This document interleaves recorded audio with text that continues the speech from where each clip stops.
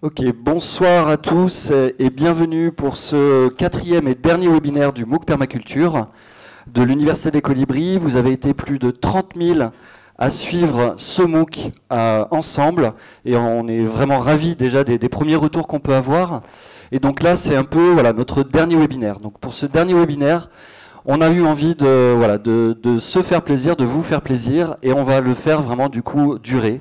On va avoir une heure et demie ensemble, on va avoir trois quarts d'heure avec Antoine et Sanchak et Sam qui vont les rejoindre, et j'ai complètement fourché sur son prénom, mais je le redirai mieux tout à l'heure. Et donc, euh, on va parler dans un premier temps voilà, de, design en permaculture, car ils sont tous trois voilà, formateurs. Et après, dans un deuxième temps, on pourra parler d'oasis, de nouveaux modes de vie, d'éducation, avec Jessica, Mathieu Labonne et toujours Sam. Donc, je, comme d'habitude, pour chaque webinaire, vous pouvez participer. N'hésitez pas voilà, à poser des questions. On voit déjà tout le monde qui arrive. Bonjour à Isa, bonjour à Jean-Pierre, bonjour à Lise.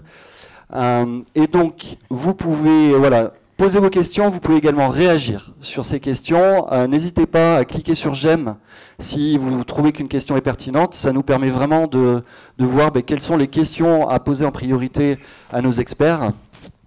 Et également avec moi, que vous pouvez un peu apercevoir derrière, euh, ben, nous avons du public. Voilà, et donc ce sont des personnes qui ont passé toute la journée avec nous. Euh, dans un premier temps, euh, ils ont visité de 10h à midi voilà, l'oasis de Serendip, puisqu'on est ce soir à l'oasis de Serendip. Et euh, dans l'après-midi, ils ont pu faire différents ateliers. et donc là, ce soir, voilà, ils ont choisi de rester en présence avec nous et je les en remercie chaleureusement. Et donc, bah, maintenant, je me retourne, j'ai envie de me tourner vers Antoine. Bonsoir Antoine. Bonsoir Yann, bonsoir tout le monde. Euh, on est sur la fin du MOOC et j'imagine et j'ai entendu dire que ce MOOC a mis l'eau à la bouche à beaucoup de gens. Mm, tout à fait. Et voilà, donc j'espère qu'on va continuer un petit peu ce soir et surtout l'eau à la bouche pour passer à l'action. Quel va être le prochain pas euh, Moi, c'est ce qui me tient un petit peu à cœur là ce soir de pouvoir vous partager. Je vais essayer de vous témoigner un petit peu de la manière dont j'ai pu, moi, passer à l'action quand j'ai découvert la permaculture et où j'en suis aujourd'hui. Euh, voilà, en espérant que ça puisse euh, vous inspirer pour euh, votre transition à vous, la suite. Voilà, donc c'est vraiment l'intention de, de, ce webinaire. C'est voilà, maintenant, il s'agit de passer à l'action. C'est pas tout d'apprendre en ligne. c'est déjà un bon premier pas. Et on a voilà, donc il y a Sam Chansak et Antoine qui ont vraiment eu envie de, donner cette couleur au webinaire, c'est-à-dire voilà, de quoi vous avez besoin pour passer à l'action et euh, voilà, quelles sont les questions que vous avez envie de leur poser euh, pour vous permettre de passer à l'action. Et donc Antoine, je suis vraiment ravi déjà de, te voir en vrai, parce qu'on n'avait pas encore eu l'occasion, on a travaillé ensemble pour le MOOC, certains l'ont peut-être vu, euh, le design qu'il a fait pendant deux ans, donc dans l'atelier qu'il a fondé, l'atelier des alvéoles, sur le lieu qui s'appelle le Jardin de la Grange, je, vais lui laisser voilà, dans un instant présenter tout ça. Et euh, ben, j'ai envie en fait, oui, de te laisser le présenter. Oui, donc je vais, je vais présenter ça en attendant les, questions, puis on va essayer de laisser pas mal de place aux questions pour que ça soit le plus pertinent possible par rapport aux attentes. Euh, quand j'ai découvert la permaculture en 2009, 2010, et que je me suis rapidement passionné pour elle, la première chose que j'ai eu envie, c'était de trouver un lieu, un grand lieu pour mettre en place quelque chose, là comme Sepolzer, comme tous ces grands permaculteurs, tous ces experts. Et puis euh, voilà, j'avais toutes ces idées-là en tête, et puis rapidement, je me suis rendu compte que c'était sûrement par là, pas par là qu'il fallait commencer. Et j'ai réalisé que c'était peut-être bien de commencer par là où j'étais. C'est-à-dire que j'étais à ce moment-là, à cette époque, j'étais en ville à Grenoble. Euh, en milieu urbain, à traîner dans les jardins collectifs, à avoir plein d'idées de projets collectifs. Et j'ai démarré comme ça. Donc tout ce que j'ai pu euh, découvrir, euh, nourrir petit à petit à partir de là, je l'ai appliqué à côté de chez moi. Et donc là, j'ai développé notamment le jardin des Cairns à Grenoble, qui est un jardin, vous pourrez trouver le, le mémoire du design sur mon site internet, l'atelier des alvéoles un mémoire détaillé avec toutes les différentes approches du design pour un, projet de permaculture urbaine. Et ce projet m'a tellement donné envie d'aller plus loin qu'il a fait naître pour moi un rêve très fort de jardin-forêt collectif. Et c'est ce rêve de jardin-forêt collectif qui m'a amené petit à petit à avoir envie de quitter, de quitter la ville et de vraiment de commencer à m'enraciner dans un lieu. Et du coup, alors c'est quoi un jardin-forêt collectif? Alors ben, c'est quelque chose qu'on est en train de mettre en place euh, progressivement aujourd'hui chez nous au jardin de la Grange.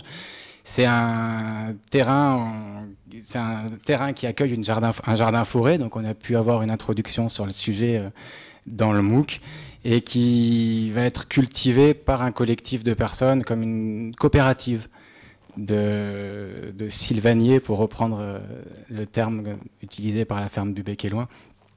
Voilà, une coopérative de personnes qui prennent soin de ce jardin et surtout qui le valorisent ensemble.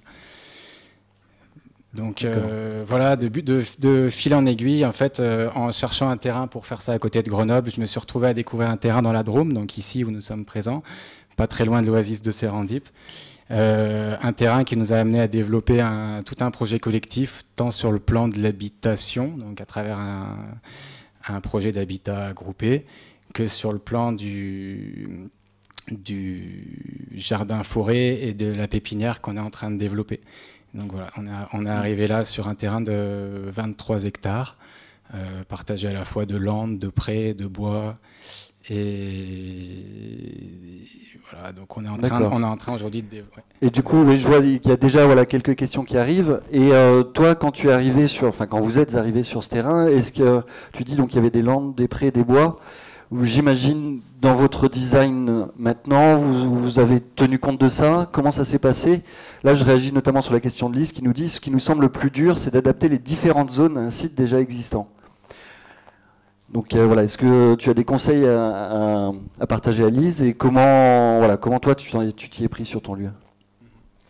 Euh, Si on regarde le principe de, de, zonage, il part vraiment des, il part plus que du site, il part avant tout de nos besoins et de qui on est et de ce qu'on a besoin de faire sur le lieu. Donc on, pour ce qui est du zonage, je commence par m'observer moi dans ce que j'ai à faire par rapport aussi à la raison d'être du projet. Voilà. Et la, la, première des choses dans le, pour le zonage, c'est de définir quel est le centre, quelle est ma zone zéro ou mes zones zéro. Oui. Dans notre cas, on en a deux. On en a une qui est au niveau de notre habitation, donc le projet d'habitat groupé, et une autre qui est au niveau de la pépinière qu'on est en train de créer avec François, qui est juste ici derrière. Euh, une pépinière qui du coup devient aussi le centre de notre activité, c'est l'endroit où on va être au quotidien, tous les jours, le plus souvent, et c'est à partir de là qu'on va commencer à raisonner le design. Donc la première étape pour nous, ça a été de définir où sont ces zones zéro. D'accord. Et moi, j'ai envie de réagir sur le fait que bien souvent, quand on achète un terrain, aujourd'hui, il y a toujours une bâtisse. Est-ce est -ce que c'est pas ça un peu qui définit du coup de fait la zone zéro? Alors, euh, ouais, forcément, quand il y a une bâtisse, la zone zéro est déjà définie mmh. à ce niveau-là, surtout si on y habite. Euh, dans le cas de la serre et de la pépinière, là, c'est le terrain qui nous a donné l'indication de où est-ce que ça allait être pertinent de placer cette serre bioclimatique. Donc là, on retrouve le principe des secteurs, la carte des secteurs dont on a parlé euh, précédemment. Et euh, cette analyse des secteurs nous a permis de définir où on allait placer cette serre par rapport aux zones protégées du vent, par rapport aux zones les plus accessibles euh, vis-à-vis -vis de la route, par rapport à, justement à la distance des habitations, par rapport au réseau, etc. Donc par rapport à, à, la fois à l'analyse de nos besoins et du besoin de notre pépinière et par rapport à l'analyse des secteurs, on a cette première zone. Et à partir de là, on peut commencer à broder le reste du design. D'accord, bah super. C'est une approche en tout cas. Ouais. Et euh, voilà, donc je vois qu'il y a voilà, d'autres questions qui arrivent, mais juste avant, j'ai quand même envie d'inviter euh, Samuel Bonvoisin et Chan Sac à nous rejoindre et à nous présenter un peu bah, l'oasis qui nous accueille ce soir et cette journée. Donc vous les avez vus euh, dans le MOOC sur les forêts nourricières. Alors les forêts nourricières, c'est dans les tout derniers modules, donc si vous ne les avez pas encore vus, dépêchez-vous. Euh, Sam et Shan, bonsoir. Est-ce que vous, vous, pouvez nous présenter euh, l'oasis de Sérendip en quelques mots? Bonsoir Yann, bonsoir à tous et à toutes. donc le, projet de l'Oasis de Serendip, il est né en 2014. Il est né d'une volonté pour, pour Jessica, qui est ma compagne que vous allez voir tout à l'heure, et moi, euh, de, bah, de fonder euh, quelque chose qui, reposait sur, euh, qui repose sur, nos deux centres d'intérêt, les deux piliers sur lesquels on a, travaillé, les, choses sur lesquelles on s'est lancé des, défis depuis une dizaine d'années. D'abord l'agriculture, on est agronome tous les deux de, de formation. Et Jessica a travaillé pendant longtemps pour un groupement d'agriculteurs biologiques dans le nord de la France. Euh, et puis euh, l'éducation, voilà. Donc euh, on a eu notre, notre aîné Elouane qui est né il y a 9 ans. Et donc ça a été pour nous l'élément déclencheur d'une volonté à la fois de quitter la ville, euh, et en même temps, c'était pas seulement un départ euh, pour, pour, quitter quelque chose, mais pour aller vers, tendre vers euh, les choses qui nous poussent, qui nous attirent. Donc c'était surtout un renversement, un passage d'une époque, notamment moi de ma vie, où j'ai été beaucoup contre, où je me suis beaucoup mobilisé pour essayer de réagir par rapport à des choses qui se passent dans la société. Et j'ai trouvé que c'était pas juste, que ça m'amenait dans un, un, espace, ça nous entraîne dans des espaces euh, qui sont des espaces plutôt de désespérance, où on devient cynique par rapport à comment le monde va, et qui, m'a entraîné, euh, qui nous a entraîné vers l'idée de dire qu'on avait envie de poser, euh, se lever chaque matin et de poser des pierres pour. Voilà. Donc la, rencontre avec la permaculture, elle a été un élément déterminant pour poser tout simplement des outils au service de cette, de cette intention et de ce projet de vie. Et donc depuis 2014, on a, on a fondé l'Oasis de Sérendip sur cette, cette intention-là. Euh, le, projet a démarré vraiment sur les chapeaux de roue, puisqu'on a, eu, euh, on a créé. Euh, d'abord, on a lancé une campagne de financement participatif autour de ce qui, ce qui est le projet central de l'Oasis de Sérendip, qui est la forêt comestible. Euh, où on a eu donc 300 euh, personnes qui nous ont qui nous ont soutenus et on a récolté à ce moment-là 300 000 euros, 30 000 euros pardon. Euh, oui, je suis déjà dans les dans les grands chiffres, mais ça c'est pour après. et donc en, début 2015, on a constitué un, premier collectif. En avril 2015, on a découvert ce lieu. et donc on a acheté en, en novembre 2015. Donc là, c'est un achat qui a coûté 500 000 euros. Euh, et donc c'était un achat où il y a une douzaine de, familles, à la fois des, personnes qui aspirent euh, à habiter, à travailler, et aussi ce qu'on appelait des partenaires, donc des personnes qui, euh, des familles qui nous ont accompagnés dans ce, dans ce montage financier. Voilà. La suite de l'aventure a été plus délicate, avec beaucoup de questions autour du relationnel et du, vivre ensemble. Je pense que ça, on abordera ça dans la deuxième partie de, la soirée. Euh, et en fait, surtout, on a, on a commencé dès euh, l'achat en novembre 2015 euh, à, aménager le, terrain. Donc, c'est un terrain qui fait 11 hectares et demi. en utilisant voilà, notre compréhension, notre analyse de, de, la permaculture et en essayant de l'appliquer à, cette, à ce terrain. Ok. Et est-ce que tu peux peut-être, Shansak, tu peux peut-être nous décrire un peu plus, parce que nous on a eu la chance de le visiter, euh, certains ont peut-être découvert le, normalement le, le design, puisqu'il est présent dans le MOOC. Et euh, d'ailleurs, je crois que c'est toi qui as fait l'aquarelle. C'est ça, ouais. Salut, Donc, tu as fait le design, l'aquarelle. Euh, j'ai cru comprendre aussi que tu as fait les baissières, le trou. En fait, il fait quoi? Ouais, bah, du coup, en fait, euh, pour présenter un petit peu le design et puis pour euh, savoir la façon dont on se complémente avec mon collègue Samuel, je pense que il faut, il faut expliquer un petit peu comment moi je suis arrivé ici à l'Oasis parce que c'est, carrément. Euh, carrément là où en fait il y a la question. Et donc moi je suis arrivé ici à l'Oasis lors de, de, autre projet collectif qui existait ici dans la dans la même vallée, et puis dans lesquels, en fait, pareil que, que la Grange, pareil que l'Oasis Serendip, en fait, ils étaient toutes les trois euh, merveilleusement créés au même moment, en même année, dans la même vallée, et puis euh, c'était trois collectifs, en fait, qui envisageaient de pouvoir... Euh, communiquer autour de la permaculture euh, euh, ici dans notre vallée de la Drôme qui a quand même en fait une, histoire avec toute cette tendance d'agriculture biologique plus qu'une tendance aujourd'hui c'est une nécessité mm. et puis cette vallée de la Drôme est devenue quand même aujourd'hui ce qu'on appelle en fait la bio-vallée grâce en fait au tout mouvement des agriculteurs et, mais du coup tu tu étais dans un autre projet et comment tu t'es retrouvé à Serendip Et du coup, en fait, cet autre projet qui existait en même temps, ils ont suivi des étapes d'évolution un peu les mêmes en fait cette question de sérendipité encore, de, synchronicité. On était euh, toutes les deux sur la même vallée en train d'essayer de créer exactement les mêmes projets. Et puis tous les deux projets, ils sont dû se reconstituer au même moment. Et moi, ça fait un petit moment que j'ai entendu parler de l'Oasis de Sérendip. Euh, pour moi, c'était en fait la vision de la forêt comestible dans la vallée de la Drôme, une forêt comestible euh, un peu comme Antoine il a présenté, en fait, la forêt de tout le monde, dans laquelle en fait on peut tous participer et puis venir installer, planter des arbres notamment euh, au début quand j'ai rencontré l'Oasis des Serendip, puis c'était en train justement d'élever des fonds pour tout ce qui était le financement participatif de projets de la forêt comestible qui est en cours aujourd'hui. Et donc voilà, ces deux projets, ils sont en régénération au même moment et du coup au moment dans lequel en fait moi j'étais en train de me poser plein de questions par, rapport à c'était quoi les prochains pas dans cette collective qui, je trouvais, en fait, qui était en train d'échouer complètement. Euh, quand par la magie de la vie, euh, les lendemains, euh, il y a le téléphone qui sonne et puis c'était Samuel qui m'appelle ou, je sais pas exactement comment ça s'est fait, mais en tout cas, il y a eu une connexion qui était faite dans laquelle il m'a invité à se rencontrer parce que c'est vrai que moi j'ai entendu parler de toi depuis longtemps et je pense que c'était la même chose.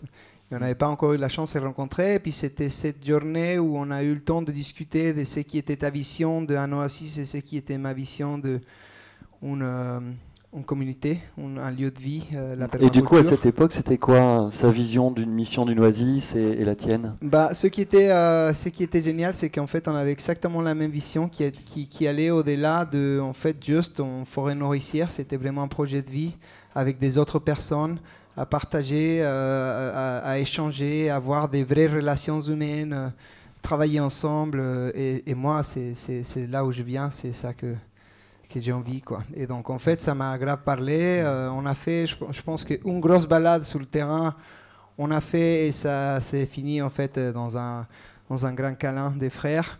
Et puis, en train de se dire, vas-y, en fait, on fait ça ensemble. Quoi. Mm. Et donc, euh, on arrivait, puis vite fait, euh, novembre 2015, il y avait aussi Antoine qui était avec nous ici avec une formation sur la forêt nourricière. Donc, euh, on a accueilli Antoine, c'était, c'était le premier stage qu'on a proposé ici à l'Oasis des une semaine après installation. Quoi. Et puis là-dessous, on avait une centaine d'arbres à planter. Il y avait déjà eu des visions dans, le, dans, dans les balades de terrain, etc., sur en fait un site très favorable pour, pour commencer ce projet de la forêt nourricière. Euh, que dans le design, vous pouvez le voir, ça fait un peu un carré euh, complètement entouré par les arbres. Donc en fait, une, forêt primaire avec des grands arbres qui entouraient cette parcelle, qui donnait déjà des conditions de microclimat assez favorables, des ais très denses, une bonne luminosité, une bonne exposition, et surtout, c'était le début de fond de ballon de toute la vallée. Et donc en fait, les eaux se dirigeaient naturellement vers cette zone du terrain. C'est vrai, pardon. juste, j'ai juste envie de rajouter que euh, bon, le design, c'est vrai que euh, l'aquarelle que tu as faite, elle est absolument magnifique et puis elle, représente bien, mais c'est vrai que je ne m'étais pas représenté du coup de la topographie du terrain. Et donc, moi, j'ai vraiment eu l'impression de découvrir pleinement le lieu en le visitant. Donc, si, si vous avez l'occasion, vraiment, je vous invite à venir euh, le visiter en direct. Et on a également quand même tourné une petite vidéo qu'on essaiera de vous monter assez rapidement et puis de, voilà, de le donner, alors soit par la newsletter de, de Serendip ou, par le MOOC, on verra comment, comment on peut faire les choses. Mais en tout cas, ouais, on, avait envie de, vous permettre d'aller voir un peu plus en amont voilà, tout, ce magnifique design euh, qui, est, affiché à l'instant. Et donc, pour pour, euh, pour aller un peu plus loin, euh, donc Camille, j'ai bien ta, ta, question là sur, sur les contraintes administratives, mais je te propose, on va garder ça pour, pour le deuxième temps. Et bah, du coup, les questions qui arrivent sont beaucoup sur cette zone double zéro. Donc, ben, allons-y. Hein. Donc, il y a Julia, voilà, qui, demande donc pour chacun de, de, vos projets comment vous entretenez la zone double zéro, donc et notamment l'humain dans la coopérative. La, zone double zéro, celle qui vient vraiment du fond de soi-même, en fait, c'est avant tout la connaissance de soi et de quels sont mes besoins à moi, d'être capable de les exprimer. Donc ça, on essaye de, dans notre collectif, en tout cas, de, de laisser un maximum de place à la diversité de, chacun de nous. Euh, c'est ce que j'exprimais tout à l'heure en atelier. Je partageais aussi cette idée que pour nous, c'était vraiment important d'accepter chacun dans ce qui peut être profondément et dans sa niche, pour reprendre une, une approche permaculturelle. Euh, quelque chose qui, du coup, après tout toute la question dans un collectif, c'est de savoir qu'est-ce qui fait lien entre nous, qu'est-ce qui nous relie. Et encore une chose que j'ai partagée euh, à mes amis derrière tout à l'heure, c'est que pour moi, ce qui est vraiment fondamental, c'est d'entretenir euh, la fierté la fierté et la joie de faire quelque chose qui ait du sens ensemble. Et que ça, ça doit être le point qui nous relie. En tout cas, c'est ce que j'ai pu observer. Et que si on focalise notre attention sur euh, tout, ce qui, tout ce qui peut nous séparer ou tout ce qu'il faut éviter comme conflit entre nous, etc., on voit plus que ça, on lui donne de l'importance et on perd complètement l'objectif qui est de faire ensemble. Euh, nous, c'est quelque chose qu'on se rappelle assez souvent dans notre collectif, c'est que c'est pas le fait de vivre ensemble, ça doit pas être un but en soi, en tout cas pas pour nous, mais plutôt un moyen de, créer des synergies et de faire encore mieux que ce qu'on pourrait faire tout seul. Donc ça, je pense que c'est vraiment une manière aussi de nourrir la, la zone 0-0 à travers la force du collectif. Parce qu'on peut passer beaucoup de temps à s'observer soi, mais au bout d'un moment, pour que ça devienne quelque chose de fertile, il faut aussi être capable de l'exprimer et de le partager. Hmm. Donc voilà comment nous, on essaye de le nourrir en tout cas. Ouais. Et alors du coup, alors j'ai Cécile qui demande euh, comment visiter l'oasis de Sérendip. Bah, j'ai envie de dire, euh, voilà, ils font régulièrement des portes ouvertes comme aujourd'hui. Donc euh, voilà, allez voir sur leur site internet. notamment, il y a le lien dans le MOOC, mais voilà, je pense qu'en tapant Oasis Sérendip, vous le trouvez très facilement. C'est les quatrièmes samedis du mois. On fait une journée porte ouverte. Voilà, donc n'hésitez pas à venir. Voilà. Et, si vous voulez, euh, j'en profite, si vous voulez visiter les jardins de la Grange, c'est pas, il, y a un poteau on, a aussi des... fait, on est, on est vraiment pas loin. il y a un poteau pour les, pour les zones pub et vous n'allez pas me caser les formations tout de suite. Faites, les, faites, les, deux visites sur la même journée, on est vraiment à 20 minutes de route l'un de l'autre et ça vaut vraiment le coup, donc euh, voilà, profitez-en. Ouais, mais décalez-les alors, pas à 10h toutes les deux.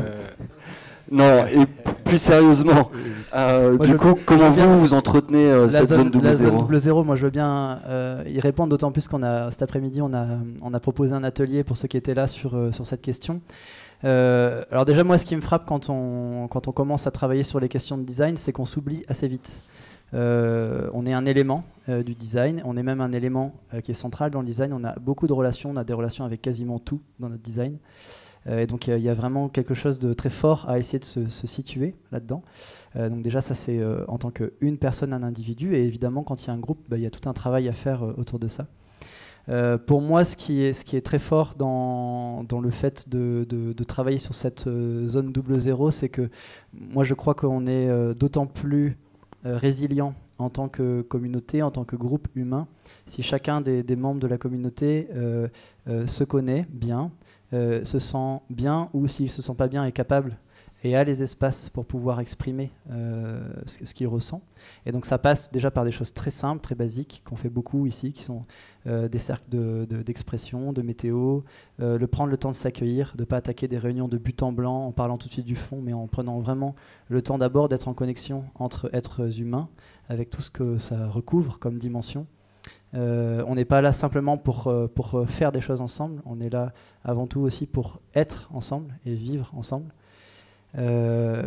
pour moi, une, des dimensions qui est vraiment fondatrice, c'est qu'on n'a pas appris, ce sont des choses qu'on apprend au contact des autres. Et c'est les autres qui nous aident à savoir qui on est, comment on se place, comment on se situe dans un, dans un système. Donc être à l'écoute, être dans l'observation de soi-même, moi c'est quelque chose que j'essaye de faire beaucoup, c'est j'essaye de faire le bilan de, de ce que j'ai fait, de ce que j'ai vécu en termes de réalisation dans ma journée. Et j'ai euh, j'essaye vraiment de faire le bilan de comment je me suis, comment je me suis comporté, comment j'ai été et comment je me suis senti. Donc vraiment un travail euh, d'observation de, moi-même et aussi un travail d'empathie envers moi-même, c'est-à-dire quelque chose qui est aussi une écoute. J'essaie de, me soutenir. Alors ça, c'est une technique qu'on trouve notamment dans la CNV, d'auto-empathie.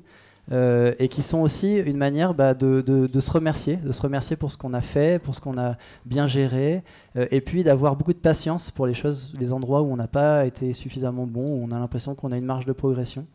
Donc poser un regard de douceur sur, ce qu'on fait et sur qui on est sur voilà, c'est quelque chose Enfin, moi, je, pense c'est surtout là-dedans que, ça fonctionne, c'est-à-dire dans le fait d'être positif avec nous-mêmes, dans le fait de se dire que euh, certes, on a, évolué dans un système éducatif qui est euh, vers le moins, c'est-à-dire qu'on part de 20 et puis si on fait des fautes, eh ben, on, se fait retrancher des, morceaux de nous-mêmes.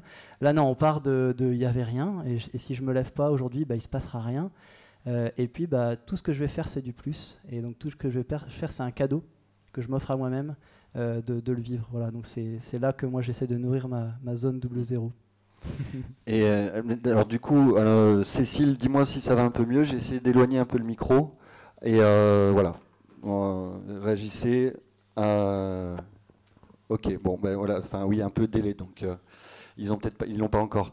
Mais j'ai, j'ai envie de dire, moi j'entends tout ce que vous me dites, j'ai du mal à y croire. Pourquoi? Parce que quand je vois tout ce que vous faites, euh, le, temps que vous y passez, est-ce que réellement vous arrivez à prendre du temps pour vous et à, ralentir? Clairement, moi, je me sens pas du tout encore en train de ralentir. Au contraire, j'ai l'impression que depuis que j'ai commencé ma transition, ça fait que s'accélérer. Et est-ce que vous, vous arrivez justement, en étant sur un lieu, à, temporiser ça, à vous réserver des espaces de, peut-être un meilleur équilibre de vie pro, vie perso? Euh, Parce qu'en plus, quand on parle de vie perso dans un collectif, il y a le, voilà, il y, a la vie en collectif, mais il y a aussi la vie familiale, la vie de couple. Comment, comment ça se passe sérieusement? Je peux avoir un joker? Ah euh, Moi, j'ai pas de recette magique. Clairement, il y a un gros enjeu là-dessus, mais moi, je suis. C'est compliqué, quoi. C'est une question que je me pose tous les jours. Euh, en hiver, on arrive à avoir quelques, j'arrive à avoir quelques créneaux pour moi et ma famille, et en été, c'est un petit peu plus difficile en ce moment. Euh, d'où l'enjeu, je dirais, d'où l'enjeu aussi de l'efficacité d'un bon design, de toute son ergonomie, d'avoir mis en place une structure intéressante qui nous permet de ne pas perdre de temps pour rien, entre guillemets, euh, dans les choses du quotidien. Euh, je dirais que c'est justement un enjeu d'arriver à retrouver une manière de faire euh, beaucoup moins énergivore, beaucoup plus proche de la nature, avec un, temps plus long, tout en gardant du temps pour soi, sans se retrouver et revenir 100 ans en arrière. Et Donc euh, là, je crois que tu mets le doigt sur quelque chose de vraiment important. Moi, je suis sûrement pas une recette miracle, mais mais je sais que, du coup, n'ayant pas beaucoup de temps pour moi-même, je remarque très vite quand il y a des choses de mon design qui ne sont pas efficaces. Et quand je perds du temps à faire des allers-retours sur le terrain pour rien, à reconstruire quelque chose qui a été mal construit, euh, là-dessus, ça, voilà, ça pardonne peu. Mais bon, on apprend vite aussi. Et voilà. Mais c'est vrai que c'est un gros enjeu pour moi. Euh... Moi, j'ai le sentiment sur cette question de, de, l'équilibre euh, que, euh, pour moi, en tout cas, ça passe toujours par euh, aller dans le sens de la nature et aller dans le sens de ma nature, c'est-à-dire miser sur mon enthousiasme, sur ma capacité. J'ai l'impression que parfois, on peut mettre trois heures à faire quelque chose euh, parce que c'est pas le moment de le faire et parce que voilà, ça, ça vient pas au moment où, euh, où c'est juste de le faire. Alors qu'en 20 minutes, on peut faire quelque chose de vraiment fabuleux quand c'est vraiment le moment. Donc, euh, il y a plein de moments où je, je diffère, j'accepte, je lâche prise, je me dis bon bah ok, c'est pas mûr, ça, ça, le fera pas. alors pour certaines choses, c'est ça le fera pas aujourd'hui, pour d'autres, c'est ça le fera pas ce mois-ci ou cette année, et c'est pas grave, on le fera l'année prochaine. Donc j'essaie de vraiment être dans cette, cette voilà. Et après sur l'équilibre entre les différents domaines dans lesquels je m'implique. Euh, j'essaie de faire un travail régulier de, mise à jour de mon design de vie, on va dire, avec une approche un peu par secteur, qui sont les différents aspects du temps que j'occupe. Euh, donc là, il y a dedans, il y a la vie de famille, évidemment, il y a la vie professionnelle, il y a mes différents engagements. Euh, et essayer de faire en sorte que tout ça soit toujours à peu près équilibré. Et puis je crois ça avec une approche par zone, où j'essaie de faire revenir plus proche de la zone zéro, les choses pour lesquelles je sens que c'est juste de mettre plus de temps, plus d'énergie et d'être présent d'une manière plus quotidienne et repousser, euh, y compris vers la zone 5, en acceptant que ça ne se fera pas, euh, les choses pour lesquelles je sens que c'est juste aussi de de ne pas y passer trop de temps, en tout cas pas aujourd'hui. Voilà. Donc j'essaye de faire ce travail-là, c'est pas non plus miraculeux, je ne je suis pas très loin du Joker. Mais en tout cas, voilà, il y a des outils et je pense que l'important, c'est le, plus difficile et le plus important, c'est d'être honnête, être, honnête avec soi-même, c'est-à-dire aussi de reconnaître quand c'est pas ok. Voilà, il y a plein de choses qui sont qui sont pas ok. et d'avoir encore une fois de la patience et de se dire qu'on n'est pas obligé de, de, tout faire bien, surtout quand on, on est passionné par ce qu'on fait, on, on se laisse facilement embarquer dans des, dans des déséquilibres. Euh, voilà. Et donc après, c'est de le reconnaître et puis de, de choisir des stratégies qui permettent d'éviter ça. Est-ce que euh, tu veux ajouter un mot, Shensak Je pense qu'il beaucoup été déjà dit. En fait, je pense euh, personnellement, c'est une question d'observation sur moi-même, carrément, et puis sur ce, qui se passe autour de moi. là où je retrouve quand même quelque chose, en fait, par rapport à ce que tu as dit tout à l'heure, moi, je, sens aussi que moi, je suis la première personne qu'à 10 h de soir, il faut aller chercher et dire arrête, Chansac, c'est, c'est fini, quoi. Aujourd'hui, il faut arrêter. Et donc, euh, c'est, vrai qu'en fait, je sens que je suis quelqu'un de très, très actif qui a besoin de toute cette activité. Par contre, je, je me rends compte que je l'ai fait parce que j'aime les faire. Et parce que en fait, je suis à fond. Et puis, c'est ma façon de, justement de retravailler dans cette zone zéro où je me sens ultra bien. Et carrément, bah, ça, je suis aussi père de deux enfants. Donc, en fait, besoin de gérer aussi cette euh, extra surcharge euh, d'énergie euh, que j'ai besoin de dégager. Et puis aussi, avoir une vie familière. là où je retrouve beaucoup aussi, donc en fait, une force de collectif et quelque chose qui est très important pour moi dans la famille dans laquelle on habite aujourd'hui. Euh, à l'Oasis parce qu'on est vraiment ça, on est une famille et puis mm, mm, mm, c'est vraiment par rapport en fait à, mes enfants, euh, le fait de que il y a n'y a pas que moi comme référent. Dans une communauté, il y a plein de référents. Et puis même si papa, il est tout à haut dans le champ, et puis en fait, euh, il y, a, mon fils qui vient se faire mal, il y a toujours quelqu'un. Je sais que je ne suis pas toute seule et que je ne culpabilise pas. Ou en tout cas, j'essaye pas de culpabiliser. C'est vrai qu'il y a deux, trois moments où en fait il fait froid, tu es dehors et puis tu es avec les bébés dans le porte, euh, porte. Bah, tu te dis, bon, est-ce que c'est la bonne chose, quoi, Donc euh, c'est ça en fait, rester à l'écoute de soi, le fait déjà de les réaliser que peut-être en fait c'est peut-être pas de tout le moment d'être en train de euh, bouger des pierres en fait et puis je suis avec les bébés et puis il fait en fait moins 5 degrés. donc ça reste une question de, de savoir s'écouter et puis savoir se respecter, mais surtout en fait un truc qui est très important, c'est just have fun quoi. C'est hmm. ça en fait. si on se réveille euh, tous les jours en fait parce qu'on sait qu'on va, c'est une grande journée, on va apprendre des choses en fait, on, je, je, vais m'éclater, j'ai des choses à faire, c'est pour ça que j'ai envie de vivre et en fait la permaculture d'ailleurs c'est vraiment ça qui, qui m'apporte au-delà de au-delà du travail en fait avec la terre, au-delà de, de, de, de, tout, c'est vraiment une, une, vision de créativité, d'implication de l'homme vis-à-vis de son écosystème à lui, dans lequel en fait ça peut être un écosystème euh, naturel, comme ça peut être un écosystème humain, comme ça peut être n'importe quoi en fait. Mais qu'est-ce que j'apporte à ce système-là? Et puis comment est-ce que je design moi, mon design à moi, dans le design dans lequel je fais partie aussi quoi. Donc, euh, hmm savoir s'écouter. Bah, ça fait envie en tout cas. Et puis j'aime bien le. Moi je retiendrai personnellement vraiment le côté à fun et effectivement on peut vraiment être dans l'action. En tout cas je, je, le prends ça pour moi de effectivement très souvent prendre soin de moi. Je l'imaginais comme en fait c'est c'est aussi enfin c'est me reposer, c'est rien faire et, et, du coup là je me dis mais à fun en fait je peux m'éclater à faire des baissières et, et, me reposer ou me ressourcer en faisant une mare. En tout cas votre euh, piscine naturelle. Voilà, comme ça, je vous inviterai tous à, venir la visiter. Et absolument magnifique. Et du coup, on va sortir justement un peu de cette zone, cette zone zéro. Il y a Camille qui nous demande combien êtes-vous euh, donc dans chacun de vos projets et quelle est la superficie des terrains de vos collectifs respectifs? Alors, euh, c'est une question. Euh, alors, le terrain, ça c'est facile, ça fait 11 hectares et demi, à peu près la moitié de terres cultivables euh, et la moitié de, forêt. Euh, voilà. Euh, on est donc c'est un, terrain qui est sur la pente sud d'une colline, donc avec une forme d'unité un petit peu topographique. alors pour les personnes, c'est plus, plus complexe, plus variable. en ce moment, on est 8 adultes et 4 enfants, c'est ça, habités sur le site.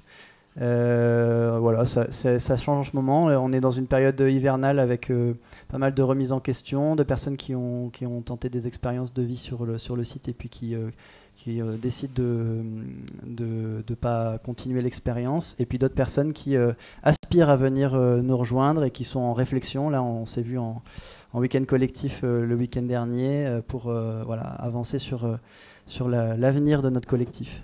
Et alors, juste avant de passer la parole à Antoine, j'ai Fatima aussi qui demande quelle est la moyenne d'âge, enfin voilà, la, la pyramide d'âge sur Serendip. Et eh ben, concrètement, en fait, euh, les projets a commencé vraiment comment, euh, avec cette idée des, des, intergénérationnelles. Et puis aujourd'hui, la moyenne d'âge, en fait, les plus jeunes, ils sont 24, 25 ans. Et puis, en fait, les plus âgés, ils sont dans la cinquantaine, quoi. Mhm. Donc, on est quand même dans l'intergénération, quand même. Il y a, il y a, il y a deux, mm. trois générations d'écart. Ouais. Et, vous, oubliez surtout vos enfants qui, eux, on doivent avoir moins de 22 ans, je pense. Euh, ouais, il y a un, bébé de 3 mois. Qui est né, qui est né euh, en novembre, là, ici, euh, sur le terrain de l'Oasis, dans la forêt. D'accord, ça c'est un, un, autre sujet légal qu'on va pas aborder. À l'ancienne, quoi. Chut, fallait pas ah, dire. Et, et, toi, pour toi, Antoine, dans votre collectif Pour chez nous, le, donc pour ce qui est du terrain, c'est un terrain qui fait dans sa, tota-, dans sa globalité 23 hectares, avec à peu près la moitié de forêt, la moitié de pré, pré et terres cultivées et cultivables. Euh, il y a une bonne, les deux tiers des terres cultivables qui sont encore en bail de fermage et qu'on a, on n'a pas la, disponibilité pour l'instant. Et voilà, avec des, une topographie très variée, très vallonnée, voilà, plein d'écosystèmes différents. On a beaucoup de chance pour ça. Euh, pour ce qui est du collectif, on est, on est quatre euh, familles à habiter sur le lieu, en intergénérationnel, on va dire. La moyenne d'âge, ça serait plus autour de 40 ans. Euh, après, la plus petite a un an et la plus âgée doit avoir 60 et quelques années. Donc euh, on est comme ça sur un collectif de différents âges. Et puis, euh, mais le lieu accueille pas uniquement ses habitants. Il y a aussi toute une toute une dynamique autour de justement de l'atelier des alvéoles, dont François qui est ici, qui en fait partie et qui travaille par exemple sur le projet de la pépinière, qui habite pas sur le lieu mais qui y est au quotidien quand même. Donc voilà, dimension variable, plus tous les gens qui passent nous aider, échanger, apprendre avec nous. Euh, c'est pareil pour l'OS de Serendip. En fait, euh, poser la question des habitants, euh, c'est réduire le projet à sa dimension d'habitat. Et c'est pas du tout le cas. En fait, il y a des personnes qui vivent à Serendip et qui travaillent à l'extérieur, d'autres qui vivent à l'extérieur et qui travaillent à Serendip. Euh, on a pas mal de personnes qui soutiennent le projet par des, dimensions euh, diverses. Euh, et du coup, c'est ouais, pas évident cette question de qui. Hmm. écoutez, on arrive quasiment au terme de, cette première partie. Et ben, j'ai envie de, de prendre deux questions, mais je vous demandais de répondre rapidement. Donc pour Julia, c'est d'où proviennent l'eau et l'énergie pour l'habitat? Et Pierre qui demande, cultivez-vous vos céréales? Alors, euh, pour l'eau, nous, on est en, démarrage de plusieurs projets qui sont autour de l'eau, et dont un projet qui est euh, de, faire un château d'eau, en essayant de, de canaliser une, source qui se trouve euh, tout en amont du, terrain. Voilà, donc ça, c'est un, gros projet sur lequel on est. Alors, moi, j'imagine les châteaux d'eau, c'est ces espèces de grands trucs en ciment qui défigurent le paysage. Euh, c'est ça que vous allez faire sur l'Oasis Il faut le voir comme un grand bassin euh, qui sera tout en haut de la colline, voilà, et qui va nous, nous servir de château d'eau. Et est-ce que vous cultivez vos céréales à Serendip Alors, on, non, en fait, on est, euh, on a bah, mm. déjà le projet. Donc nous, on a notre deuxième saison. J'ai vu le petit coup d'œil à Shansak. tu sais pas si tu as des céréales sur ton si, Non, mais on a expérimenté. En fait, la question, encore une fois, elle n'est pas évidente. Euh, euh, on a, on a, on est arrivé ici avec chacun un petit peu un stock de, semences. Donc on a, on a mis en, en culture un certain nombre de, de, choses, dont des céréales l'année dernière, dont, dont, on a eu des résultats qui sont variables. Euh, on a testé du millet, euh, du maïs, euh, aide-moi. du petit épeautre. euh, voilà, sarrasin. on a fait différentes choses. Et donc, en fonction des résultats qu'on a eus et de, et de la récolte de ces semences-là, quand il y a eu récolte, bah, du coup, on va, on va pouvoir ressemer cette année une partie de, de notre récolte. Hmm. Ah, tu voulais ajouter quelque chose, Shansak Oui, je voulais juste rajouter de fait en fait qu'aujourd'hui, en effet, on on produise pas forcément de céréales, c'est pas un- pas un produit de la ferme. C'était une première année d'expérimentation test en fait sur les semences qui peut se plaire sur les terrains de Serendip. Puis là, on rentre en deuxième année de culture et en effet, on on fera un peu plus que l'année dernière, mais sans, sans dire qu'en fait la, la, la, la production céréalière. ouais. D'accord. Et puis, juste peut-être en fait pour rajouter quelque chose là-dessus, c'est parce que j'y tiens quand même. Et puis c'est vrai qu'en fait aujourd'hui, euh, euh, je ne vais pas trop mais aller, euh, aller trop dans le sujet, mais en fait je pense que la permaculture aussi, c'est de pouvoir devenir de plus en plus cohérent avec, avec les systèmes dans lesquels on habite et puis de la façon dans laquelle en fait on co euh, habite avec ces systèmes-là. Et c'est vrai que ça commence par l'alimentation.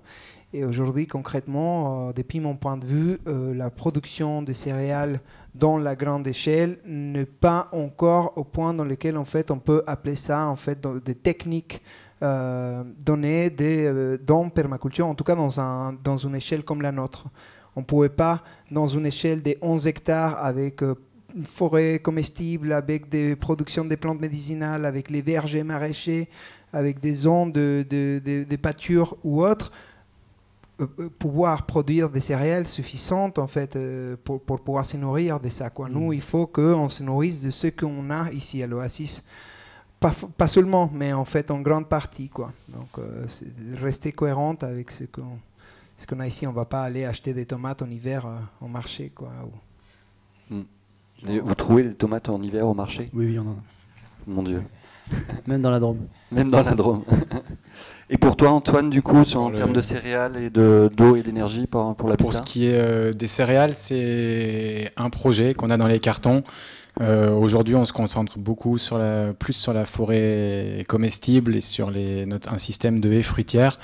Euh, voilà, on a, pensé le, on a pensé le design pour que dans la suite, dans un deuxième temps, on puisse éventuellement avoir des céréales ou des pâtures et ou des pâtures entre les haies fruitières et les, ce système de bocage.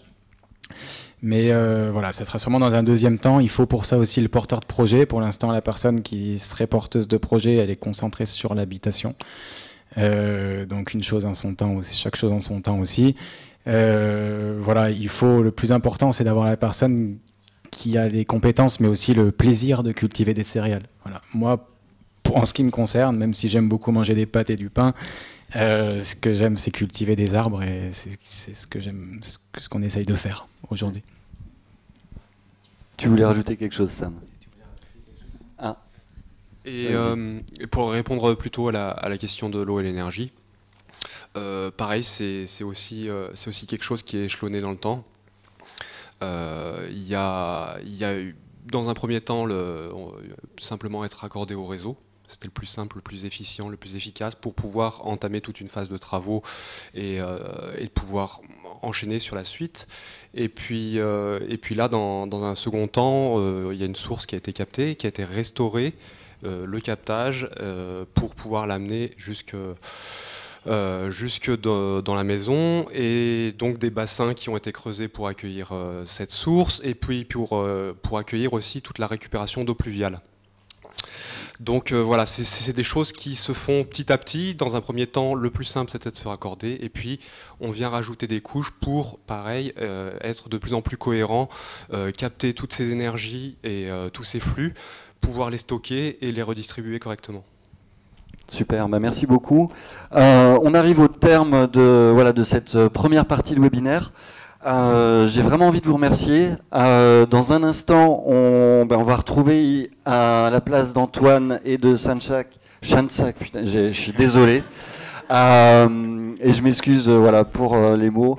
On va retrouver Jessica et Mathieu Labonne pour parler voilà, d'Oasis, nouveaux modes de vie, éducation. J'ai vraiment envie de vous remercier d'avoir été présent et éventuellement, si vous voulez, voilà, dire un dernier mot, très court. Si on a un dernier mot, ça va être un mot de pub. Un petit, un petit teasing, Un petit... une petite annonce. Allez, je te laisse, je te laisse passer l'annonce. Eh ben, en fait, l'atelier des alvéoles et l'oasis de Sérendip s'associent. Euh, on, va, travailler ensemble à partir de, euh, de septembre de cette année euh, et puis, et puis plus pour, voilà, pour la suite sur une formation commune. Donc jusque-là, en fait, on, propose, donc l'équipe de l'atelier des alvéoles de son côté propose des CCP, donc des, formations sur 11 jours. et l'équipe de l'OAS de Serendip nous propose des, formations d'une semaine, des formations de découverte de la permaculture euh, d'une semaine euh, là jusqu'en jusqu'au mois d'août. Et à partir de septembre, en fait, on propose aux personnes qui ont suivi euh, au moins un CCP ou une, une semaine de formation de, de, pouvoir bénéficier d'un accompagnement sur, sur une année. Donc ça s'adresse vraiment à des personnes qui, sont déjà dans un, une dynamique de, construction de leur projet.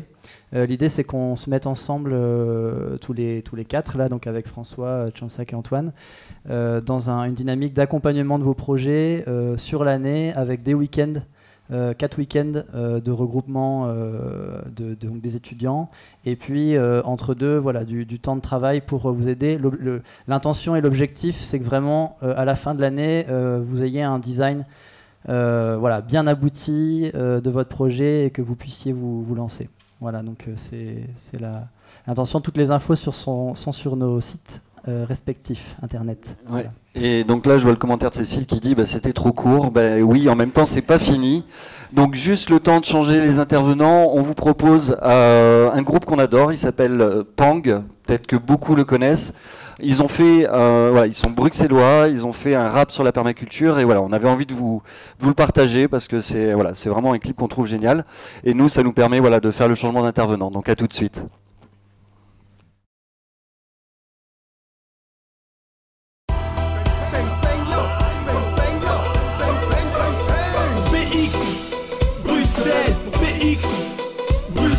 Chacun sa parcelle et on ramasse l'oseille. Alors retiens ce conseil si t'es pas à Marseille. BXL, ouais c'est Bruxelles. BXL, ouais c'est Bruxelles. Avec nos potagers, on inonde les marchés. Viens accompagner car on va te faire planter. On plante des choux, est-ce que ça dit? Joe fait pas le mou, ce sera les radis. Dans mon hood, on pratique la permaculture. Une tech de ouf, inspirée de la nature. Insulte pas la terre, mec c'est ma mère. Observe-la bien, jamais plus t'auras faim. La paille et la forêt ont été mises dans le coup. Les fourmis et les abeilles ont tout rejoint notre crew. La seule limite à ta production, mec, non que c'est pas le site, c'est ton imagination. Fais donc les liens, les interconnexions, tu vas voir tout vient et ce à profusion. Pas de pesticides, ni engrais chimiques, non. Pas de tracteur, ici on a des bourriques. Si tu fais ta bête ou ton petit marrant, ici tu pousses des bêtes et des petits marrants, yo. C'est quoi notre quartier? C'est le potager. Qu'est-ce qui fait kiffer Être à Walpé tout le monde sa carotte et tout le monde son poireau Personne qui porte, personne qui reste sur le carreau C'est quoi notre quartier? C'est le potager Qu'est-ce qui fait kiffer Être à Walpé Tout le monde son cochon et tout le monde son poney Et même sans arôme personne ne reste sur le côté.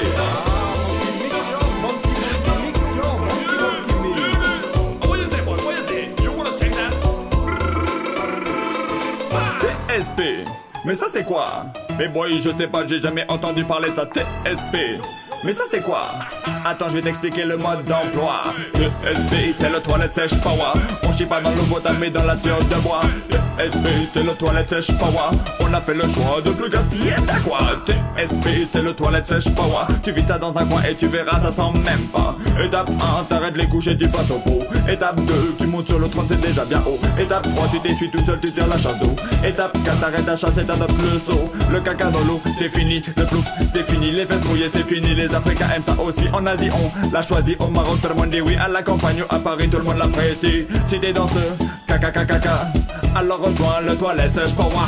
C'est quoi notre quartier? C'est le potager. Qu'est-ce qui fait kiffer? Être à Walpé tout le monde sa carotte et tout le monde son poireau Personne qui porte, personne qui reste sur le carreau C'est quoi notre quartier? C'est le potager Qu'est-ce qui fait kiffer? Être à Walpé tout le monde son cochon et tout le monde poney Et même sans arôme personne ne reste sur le côté. Et on peigne dans ta gueule, oui on sait recycler. Nous on mixe du tilleul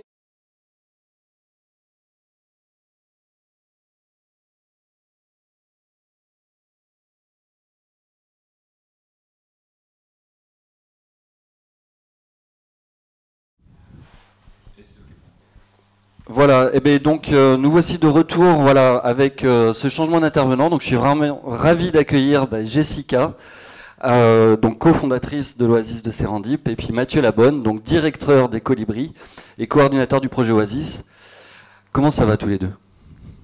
Plutôt bien. Pour moi, moi, ça va bien, très Ouais. bien. Je suis content d'être là. Ouais, ouais, vraiment, ben, un grand merci à vous deux. Euh, Jessica pour, pour l'accueil. Euh, voilà, on te- depuis aujourd'hui, je te vois courir partout. Sam aussi, hein, je, voilà. Mais euh, voilà. pas toute seule. hein. On voit vraiment des vous bénévoles, démener, euh, ouais. Et puis Mathieu, je dois dire, voilà, donc il est en plein cercle, euh, cercle de pilotage euh, de Colibri. Et donc là, voilà, merci beaucoup du temps que tu, que tu nous accordes. Je suis en train de rater un jeu à côté, mais j'irai les rejoindre après. D'accord, ouais, c'est euh, ouais. bon bah voilà. yes. Donc euh, dans cette partie du, euh, du webinaire, j'avais vraiment envie euh, de, vous proposer de parler vraiment d'Oasis, de nouveaux modes de vie, parce qu'on s'est aperçu que dans le MOOC Permaculture, ben, finalement, il y avait beaucoup de personnes aussi qui avaient des questions autour de l'habitat partagé, autour de comment vivre ensemble, comment prendre des décisions ensemble. Et euh, ben, pour commencer, j'ai un peu envie de te donner la parole, Mathieu. Donc toi qui es coordinateur du projet Oasis, à ma connaissance, ça fait déjà des années que tu avais envie d'éco-villages, tu allé visiter tous les plus gros éco-villages en, Europe, aussi les beaucoup plus petits.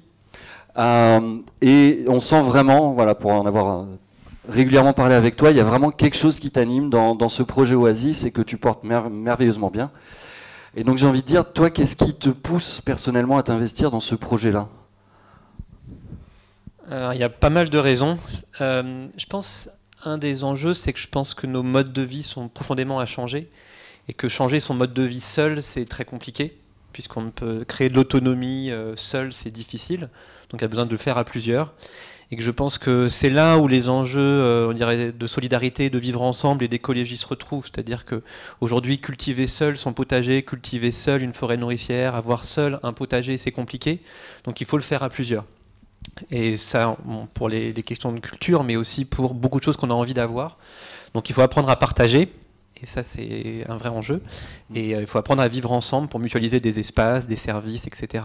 Donc moi, c'est une conviction que j'ai euh, pour moi aussi pour pouvoir accéder à certains modes de vie euh, sans forcément le vivre comme une contrainte, mais vraiment le vivre comme une source de joie, de convivialité, euh, de partage. Donc c'est à la racine, je pense, ça qui m'a plu dans les grands éco-villages en Europe ou en, Asie que, j'ai rencontrés, c'est qu'il y avait une joie de vivre et en même temps une cohérence avec des valeurs écologiques que j'ai trouvées super inspirantes. Hmm. Super, merci. Et donc, euh, bah, Jessica et Sam, j'ai envie de vous, de, vous tendre la perche et puis de, de savoir un peu, vous, comment ça se passe justement dans ce vivre ensemble? Alors déjà, simplement pour euh, dire, moi, j'ai une, expérience, on va dire, du collectif euh, qui est déjà... euh, j'ai- je me suis depuis longtemps, depuis que j'ai l'âge à peu près de 12-13 ans, impliqué dans des projets collectifs. J'ai voilà, toujours eu le sentiment de faire partie d'aventures collectives. C'est quelque chose qui m'est assez familier. Euh, je sens que c'est quelque chose qui est très, euh, dans lequel je m'épanouis énormément, quelque chose qui me, porte, qui me motive. Et puis aussi, j'ai une capacité euh, que, bah, je rencontre parmi mes, frères et mes sœurs qui n'ont pas, qui est une capacité à faire abstraction du collectif aussi quand j'ai besoin de me retrouver seul, donc à vraiment être dans ma bulle et puis pouvoir me, poser, avoir des, moments pour moi. Ce qui fait que du coup, j'ai une grande capacité à évoluer dans un, dans un lieu comme l'Oasis de Serendip. Euh, et, en même temps de respecter mes, propres besoins. Voilà. Donc moi j'ai toujours aspiré à ça, c'est toujours quelque chose qui m'a énormément euh, motivé, Euh, je l'ai recherché. J'ai recherché aussi cette, cette, fusion un peu entre les espaces personnels, les espaces professionnels, les espaces de, de, de- d'activité, de montage de projets collectifs. Et j'aime cette créativité qui est là aussi dans les interstices, dans les marges, dans, les, dans la lisière un peu de nos projets. Euh, c'est ce que je recherche beaucoup. Et ça, c'est possible grâce, euh, grâce au projet collectif. Voilà, donc euh, ça qui, me motive. Après, c'est vrai qu'au quotidien, c'est une sacrée aventure humaine. Je ne sais pas si on aurait mené le projet de la même manière si on avait su dès le départ ce qui nous attendait en termes d'aventure émotionnelle. Après, je ne peux pas dire pour autant ce que je, je- voudrais changer de notre parcours parce qu'on a vécu des choses incroyables dans tous les cas. Euh, au quotidien, on a des outils vraiment euh, opérationnels, donc euh, voilà, des réunions où on, bosse vraiment sur la pratique, les projets qui sont en cours, les différents chantiers, comment on se répartit le travail. On a aussi des temps où on réfléchit plus en termes d'organisation du quotidien, qu'est-ce qui fonctionne, qu'est-ce qui est à faire évoluer. Et puis, on garde toujours dans un coin de notre tête et on, on les utilise plus ou moins facilement les outils de, donc de la CNV, la communication non violente. On a ici aussi à l'Oasis, on est des grands fans des quatre accords Toltec, voilà, qui sont vraiment des, des inspirations, quoi, pas vraiment des contraintes, mais plus euh, un objectif loin sur le chemin, et puis euh, voilà, hmm. qui peuvent nous guider un petit peu. On peut peut-être juste rappeler les quatre accords Toltec pour un, ceux qui ne connaissent pas. Donc euh, les quatre accords. Le premier, c'est quoi qu'il se passe, ne pas en faire une affaire personnelle. C'est-à-dire que si l'autre euh, me fait un reproche euh, ou voilà se plaint de ce que je fais moi, en général, c'est pas forcément que ça me concerne pas seulement moi, ça concerne surtout lui, sa perception des choses, mm. ses blessures, ses aventures personnelles. Et je vais vraiment t'inviter à, coller, le micro, parce que je suis pas certain du coup qu'ils entendent vraiment tout. Euh, la parole impeccable. toujours faire de son mieux. Donc ça, c'est vrai que ça rejoint un peu ce que disait Sam tout à l'heure. pas comptabiliser sur notre liste de tâches ce qu'on n'a pas réussi à faire, mais plutôt essayer de valoriser au maximum ce qu'on a réussi à faire et ça vaut le coup. Et le dernier, la colle. Et ne pas faire de suppositions, exactement. C'est-à-dire que si le matin je croise dans la cour euh, Jean-Guy avec son café par exemple et que Jean-Guy ne me dit pas bonjour, ça ne veut pas dire que Jean-Guy me fait la tronche. Ça veut peut-être dire juste qu'il a passé une mauvaise nuit et qu'il est un peu dans le pâté. Donc essayer euh, d'aller au bout des choses et d'aller euh, parler aux gens pour savoir vraiment où ils en sont plutôt que de supposer des choses. savoir plutôt que croire. Hmm. Donc, mais du coup, enfin voilà, merci et je trouverais ça vraiment chouette. Et j'ai envie de dire aussi, j'imagine, euh, dans, dans, les projets comme ça, tous les projets d'Oasis, c'est forcément aussi savoir prendre des décisions ensemble. Et donc là, on a eu justement une question. Est-ce que vous, vous utilisez la gestion par consentement? Et puis après, je serais très curieux aussi d'avoir un peu ton point de vue, Mathieu, sur les, les différentes oasis et, et voilà l'évolution que tu as pu voir dans, dans les collectifs en termes de prise de décision on est quand même parti d'une utopie, il faut, il faut le dire. Euh, moi, quand je suis arrivé dans le mouvement Colibri, j'étais vraiment dans, cette envie et, cette croyance qu'on allait tous devenir complètement égal et tous horizontal et que ça allait euh, forcément bien se passer parce qu'on avait tous les mêmes valeurs. On a un peu vécu ça aussi au début du projet. On avait rencontré des gens avec qui on partageait vraiment euh, des valeurs fortes, sauf qu'on s'est assez vite rendu compte qu'on les appliquait pas du tout de la même manière dans le quotidien et que par rapport à nos expériences personnelles et notre parcours de vie, euh, les priorités en termes de valeurs n'étaient pas forcément les mêmes et la façon de les comprendre et de se les approprier n'était pas les mêmes non plus. Du coup, c'est pas suffisant d'avoir des valeurs communes. C'est déjà un super départ, mais c'est pas suffisant du tout. Et euh, il faut aller plus loin. Et ce qu'on se dit euh, de plus en plus ici à Serendip, c'est que c'est en faisant ensemble qu'on apprend vraiment à se connaître et qu'on voit si on peut décider collectivement du projet. Après, on essaie de garder toujours à l'esprit que ce qui nous a amenés ensemble ici, c'est la forêt comestible. Euh, et le reste n'est censé être qu'accessoire. Euh, donc, euh, à un moment, les questions autour de l'habitat groupé ont pris beaucoup de place, notamment. Et 90% des messages qu'on recevait concernaient l'habitat groupé, alors même qu'on n'avait pas encore trouvé le lieu. C'était assez étonnant. du coup, on essaye vraiment de garder le projet au cœur. Et si on s'aperçoit qu'il y a un danger pour le projet, là, oui, on peut décider de poser un veto. Mais sinon, les besoins personnels sont un peu mis à l'écart pour que le projet reste au centre. Hmm. Oui, moi ce qui m'a d'ailleurs beaucoup touché dans, la présentation que tu as faite ce matin euh, de l'Oasis, c'était que tu décrivais euh, finalement l'Oasis de Séance Deep comme une oasis ressource avec de l'habitat. Mais qu'il y avait vraiment effectivement ce, projet commun au centre, euh, peut-être contre voilà, par rapport à d'autres et du coup, bah, je me tourne vers toi, Mathieu, pour euh, voilà, en termes de justement de prise de décision en collectif, qu'est-ce que qu'est-ce que tu as pu voir? Quel, serait un peu ton retour, ton ressenti par rapport à, tous les projets que tu peux rencontrer? Bah, dans les oasis, la question du facteur humain, elle est vraiment cruciale. Elle est au cœur, c'est-à-dire pour que ça réussisse, il faut que le collectif réussisse. Et euh, donc dans ces enjeux de réussite du collectif, la question de comment prendre des décisions. Après, moi, donc, beaucoup de gens sont nourris de certains outils de type gestion par consentement ou d'autres formes de prise de décision. Moi, je pense que l'essentiel, c'est qu'il n'y a, pas, un outil parfait. Surtout pas être dans une forme de dogmatisme par rapport à une méthode de gouvernance. Il faut aller à une forme d'efficacité. Une efficacité pas seulement sur prendre une décision rapidement, mais aussi ce qui va permettre au collectif de grandir et de pouvoir avancer ensemble. Donc, de ce point de vue-là, le consentement est intéressant puisqu'il permet de laisser personne sur le côté. Surtout comme on touche dans les questions de à des questions qui sont l'ordre de l'intime pour les gens qui sont assez euh, essentiels, notamment quand c'est leur, lieu de vie en particulier. Il faut arriver à prendre en compte les points de vue de chacun. Et ça, donc beaucoup, beaucoup, beaucoup de lieux font appel à la décision par consentement, mais il y a aussi d'autres oasis qui font complètement autrement, qui n'ont pas été formés.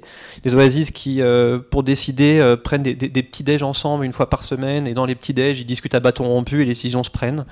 Donc je pense que c'est avant tout mettre de la conscience sur ce qui marche et ce qui ne marche pas, et d'être capable de revisiter régulièrement nos processus, c'est-à-dire d'être à Mmh. l'écoute. Et c'est pas la même chose d'avoir un collectif de 3, 4, 5 familles ou un collectif de 15 à 20 familles. Je pense que la question de la taille va générer des méthodes de prise de décision qui sont très différentes.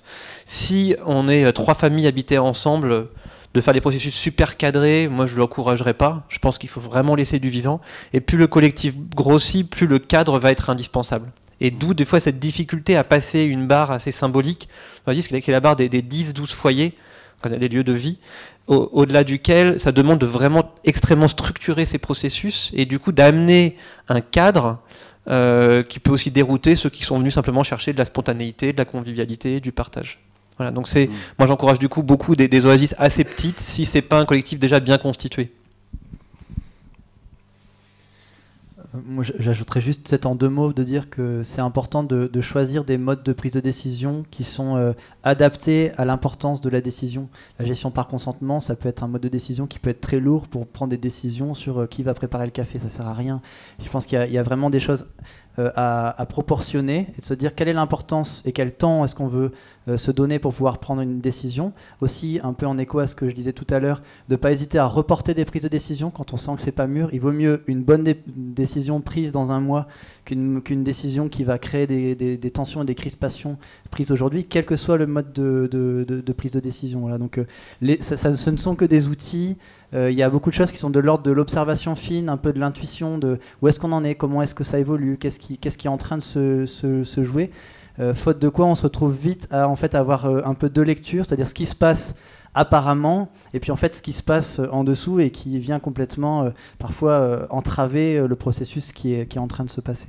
Oui, juste pour appuyer, je pense que c'est important que la gouvernance, ce n'est pas une fin en soi, c'est juste un outil. Je pense que c'est quelque chose d'assez essentiel. C'est-à-dire que dans la raison d'être d'un projet, c'est pas de faire de la décision par consentement ou tel mode de gouvernance. Et là où je rejoins ce que dit Samuel, c'est aussi un collectif mature, c'est un collectif qui saura déléguer aussi et qui saura pas tout décider ensemble. Donc ça, ça s'apprend, ça demande de la confiance, ça demande de créer du nous. Mais je pense que la question de remettre en place la souveraineté individuelle, de la mettre au cœur du fonctionnement de l'OASI, je pense que c'est souvent un, un facteur de succès. Alors, ben, je vais découvrir du coup les, les questions en même temps euh, voilà, que je parle. Donc, il y a Mathis qui, qui vous demande est-ce que vous utilisez des jeux de société pour vos prises de décision ou vos recherches d'idées? Et euh, alors, peut-être juste avant, donc Cécile qui nous demande c'est quoi les décisions par consentement? Donc euh, ben, Cécile, alors déjà j'ai envie de te dire, euh, on a fait un MOOC sur la gouvernance partagée et du coup tu l'as raté. Donc là, je suis voilà, hein, c'est pas très bien, mais heureusement, il y a une session de rattrapage. Ce sera, il va falloir attendre un peu. hein. Ce sera en janvier 2019, mais bon, voilà. Donc du coup, on va juste répondre rapidement, mais tu pourras aller voir beaucoup plus en détail euh, à ce moment-là. Donc MOOC gouvernance partagée, deuxième édition. Et donc, est-ce qu'on peut, voilà, je, je vais quand même répondre en, en quelques mots sur euh, c'est quoi la les décisions par consentement? C'est enfin, je pense que Google peut être euh, l'ami de tout le monde pour trouver vraiment dans le détail ce que ça peut être, mais en gros, c'est un processus euh, euh, de décision ou un, oui, ou un autre moteur de recherche, où un collectif peut être, euh, enfin voilà, chaque personne est amenée à s'exprimer sur ce qu'il ou elle pense de, de la décision qui va être prise, à exprimer euh, ses réticences et surtout à dire si oui ou non elle pense que cette décision-là risque de mettre euh, en danger le projet ou est bonne pour le projet. Donc euh, effectivement, c'est un des processus qui permet à tous de s'exprimer et euh, qui permet aussi, je pense, euh, le, le mieux, dans ce qu'on a expérimenté en tout cas nous, euh, de remettre le projet au centre et de permettre à chacun de prendre un peu du recul par rapport à ses besoins personnels. Euh, voilà, je ne vais pas aller trop dans le détail parce que c'est Mm. un peu... Non, mais oui. Et, donc du coup, pour revenir voilà, sur la question de Mathis, est-ce que vous utilisez des jeux de société euh, pour vos prises de décision, recherche d'idées? Voilà, qu'est-ce que euh, ou qu'est-ce que vous avez vu comme pratique? Alors bah, nous ici à, à l'Ouest de Serendip dans l'équipe, euh, on a la chance d'avoir Stéphanie qui, euh, qui est créatrice de, de jeux coopératifs. Euh, et du coup avec, euh, Stéphanie on a le, bonheur de pouvoir jouer souvent et, euh, elle, conçoit des jeux qui sont des jeux qui sont au service de la connaissance de soi et de la créativité et de l'intelligence collective. Donc voilà, le jeu est vraiment un, un- levier puissant pour, pour avancer en collectif. Merci Stéphanie. Je sais pas Mathieu si tu veux rajouter quelque chose ou Bah, rien de bien intelligent. Euh, oui, je confirme qu'il y a beaucoup de jeux qui sont dans les, dans les lieux, euh, que moi-même dans les, les lieux que, dans lesquels je participe, euh, on joue beaucoup et qu'en général c'est un signe de bonne santé dans un lieu. Ouais. Quand on joue beaucoup, après il y a différents types de jeux. hein. Il y a le jeu qui se veut un peu intelligent, coopératif, mais moi j'aime bien les jeux des fois très bêtes et pas du tout coopératifs aussi. Le Monopoly. Y compris de faire un match de foot sous la pluie. Ou voilà. En tout cas, le fait de, de, trou- de retrouver ces espaces pour créer du nous. Et après, il y a des outils effectivement qui peuvent être ludiques, qui permettent de, réfléchir ensemble. Et, euh, ça, il y, y en a plein sur Internet. Euh, je pense que les jeux sont surtout essentiels pour créer les conditions de la coopération. C'est-à-dire que avant de commencer à créer un cadre, il faut créer du nous. Et cette création du nous passe par apprendre à se connaître. Et le jeu est un bon outil pour ça. Super. Et euh, donc là, on va rentrer dans des choses un peu plus, un peu plus costauds, j'ai envie de dire. Donc il y a euh, deux questions sur comment les oasis vont-elles vieillir en termes euh, d'âge, de santé, ou euh, les, voilà, les seniors ont-ils leur place dans ces oasis? Parce que c'est vrai qu'on on a besoin de, de bras pour, pour vraiment tous ces projets, pour les faire avancer. Et en même temps, du coup, comment, comment on peut s'occuper de nos seniors Moi, je veux bien apporter un éclairage qui est quelque chose, c'est plutôt une bonne nouvelle. Euh, il y a 40 ans ou 30 ans, les premiers habitats participatifs qui existaient en France étaient beaucoup des habitats monogénérationnels. C'était beaucoup des trentenaires qui euh, euh, faisaient un projet ensemble avec leurs enfants. 30 ou 40 ans après, on se retrouve avec que des retraités et les enfants sont tous partis. Et dans la nouvelle génération de lieux qui se créent depuis quelques années, parce qu'il y, a vraiment un essor hein, depuis, euh, depuis 5 ans, disons, l'aspect international est vraiment mis au cœur. C'est-à-dire que c'est vraiment une des valeurs fondatrices de la plupart des lieux d'avoir une pyramide des âges équilibrée. Et qui dit pyramide des âges dit aussi une capacité, tout en ayant des personnes âgées et en pouvant les accueillir, parce que c'est aussi, à mon avis, une très très bonne réponse, ce type de lieu, aux difficultés, à la solitude que vivent beaucoup de personnes âgées, encore plus si elles n'ont pas de descendants. Euh, c'est- de mettre en place cette pyramide des âges, ça permet que le, projet puisse survivre à des personnes qui, euh, bah, qui décèdent, à des personnes qui ne peuvent pas rester dans la communauté, et en même temps, le fait que des personnes âgées puissent être, euh, prises en charge, être accompagnées par des personnes plus jeunes. Donc ça, une avoir sur cette pyramide des âges. Pour donner un exemple, donc moi là, je suis en train de créer un, un, un nouvel éco-hameau où on est 26 familles, donc c'est nombreux. Et là, par exemple, à un moment donné, on a fait un choix, on avait beaucoup de personnes qui seraient bientôt retraitées. Et on a fait un choix de garder des parcelles exprès pour des personnes jeunes, pour se dire, bah, dans 20 ans, on n'aura pas euh, 15 foyers de personnes qui ont plus de 80 ans. Donc c'est important d'avoir cette conscience-là. Alors, Et de pouvoir juste en pour prendre te soin. dire, dans 20 ans, plus de 80 ans, t'es pas encore à 60 ans, je pense. Non, moi non. Mais oui, oui, pardon. Non, non, mais je veux dire, mais Non, par contre, oui, pardon, mais dans le projet, voilà, donc c'est en tout cas une vigilance à avoir parce que prendre soin de nos aînés quand ils vieillissent, c'est important. Ouais. Je trouve ça très dur dans un projet d'imaginer qu'une personne, quand elle va vieillir et quand elle, a- elle sera plus complètement indépendante, que le collectif ne pourra pas la prendre en charge. Moi, j'ai aussi l'expérience que je trouve très belle des, des monastères chrétiens, où c'est une question qui est assez prégnante parce que c'est des communautés vieillissantes aujourd'hui. Et certaines des communautés, euh, des abbayes, des monastères ont mis au centre maintenant de leur. euh, Il y a beaucoup d'activités, ils ont mis au centre de ce qu'ils ont à faire, de prendre soin bah, de- des frères ou des sœurs qui sont maintenant âgés. Et je trouve qu'on a à, s'inspirer aussi de ça, et que les oasis peuvent être aussi une réponse à cette, euh, à cette question qui pour moi est essentielle, question du, du vieillissement et la question de comment on accompagne ça.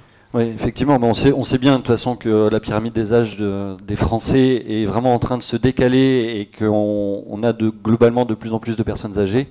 Et donc c'est, à mon sens, effectivement très pertinent de- d'intégrer vraiment cette problématique. Et c'est un peu ce qui, enfin, visiblement, ce que tu dis, ce qui se fait déjà, quoi. Tu voulais ajouter quelque chose? Oui, deux petites choses. Euh, Il y avait des membres de, de l'habitat participatif Ecoravi qui étaient là aujourd'hui pour la journée et eux, ils ont bénéficié pour le, la, construction de leur, euh, de leur bâtiment euh, d'une aide, d'une subvention de la caisse de retraite, euh, notamment parce qu'ils accueillent des, des- des- personnes euh, qui, sont, euh, voilà, qui sont à la retraite. Euh, et donc ça peut être un levier aussi pour, euh, pour pouvoir obtenir des financements et pouvoir euh, accéder à, du, à, des, à des équipements, à des habitats qui sont bien adaptés pour euh, le- le- le- les dernières étapes de la vie. Euh, et puis, euh, d'un point de vue plus, euh, on va dire, de, lien, la transmission, euh, pour moi, c'est vraiment hyper important. Euh, il c'était il n'y a pas si longtemps que les enfants étaient en connexion avec les anciens et où le cycle de la vie, on va dire, était beaucoup plus présent dans le, dans le quotidien des enfants. Euh, et aujourd'hui, c'est quelque chose qu'on peut vivre dans, des communautés de, vie et quelque chose qui est très marquant, qui est très fondateur dans la vie d'un enfant quand il y a euh, les plus anciens qui, euh, décèdent. Euh, et, le lien, la, connexion importante euh, entre les anciens et les enfants, c'est quelque chose que, euh, qui, me semble vraiment fondatrice, quelque chose qu'il faut mettre absolument au centre des, projets de, de communauté, de groupe. Je me rappelle une anecdote, c'est donc dans est en train de créer, il y a une maison senior juste à côté, et dans le design, on réfléchissait justement comment intégrer les liens entre les personnes âgées et les enfants. Donc dans le design permacole, on peut réfléchir ça. Notamment un truc tout bête, c'est que vous mettez des, des, chèvres ou des animaux euh, dans la maison senior et d'avoir automatiquement les enfants qui vont aller euh, en prendre soin avec les personnes âgées. Bien vu. Yes. Um, on, va, on, va, continuer. Alors, pourra-t-on en connaître plus sur les jeux collaboratifs? Un MOOC peut-être? Alors, ce ne sera pas pour cette année. Mais voilà, on, on verra. On, on, garde l'idée. Euh, en tout cas, il y a énormément de ressources euh, voilà, sur oui, Internet. juste, c'est une base de données de jeux coopératifs. c'est plutôt des, des, petits jeux. Hein, c'est pas des jeux sociétés qui est sur le wiki du projet Oasis dans les ressources ouais. et que vous pouvez alimenter d'ailleurs. Voilà. Et euh, bah, aussi une question comment initier la création d'une Oasis? Alors j'ai d'abord envie de répondre, il y a le parcours Oasis qui vient de s'ouvrir euh, depuis, euh, depuis mi-janvier.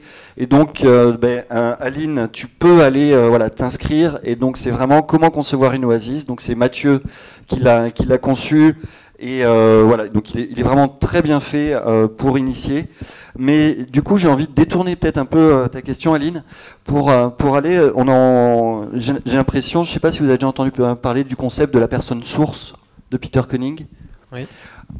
Et, euh, et, donc ça. Alors déjà, je vais peut-être Mathieu du coup te laisser un peu présenter le concept, et puis euh, si tu peux aussi nous partager par rapport à, à, ce concept de la personne source et du rôle des fondateurs d'une Oasis.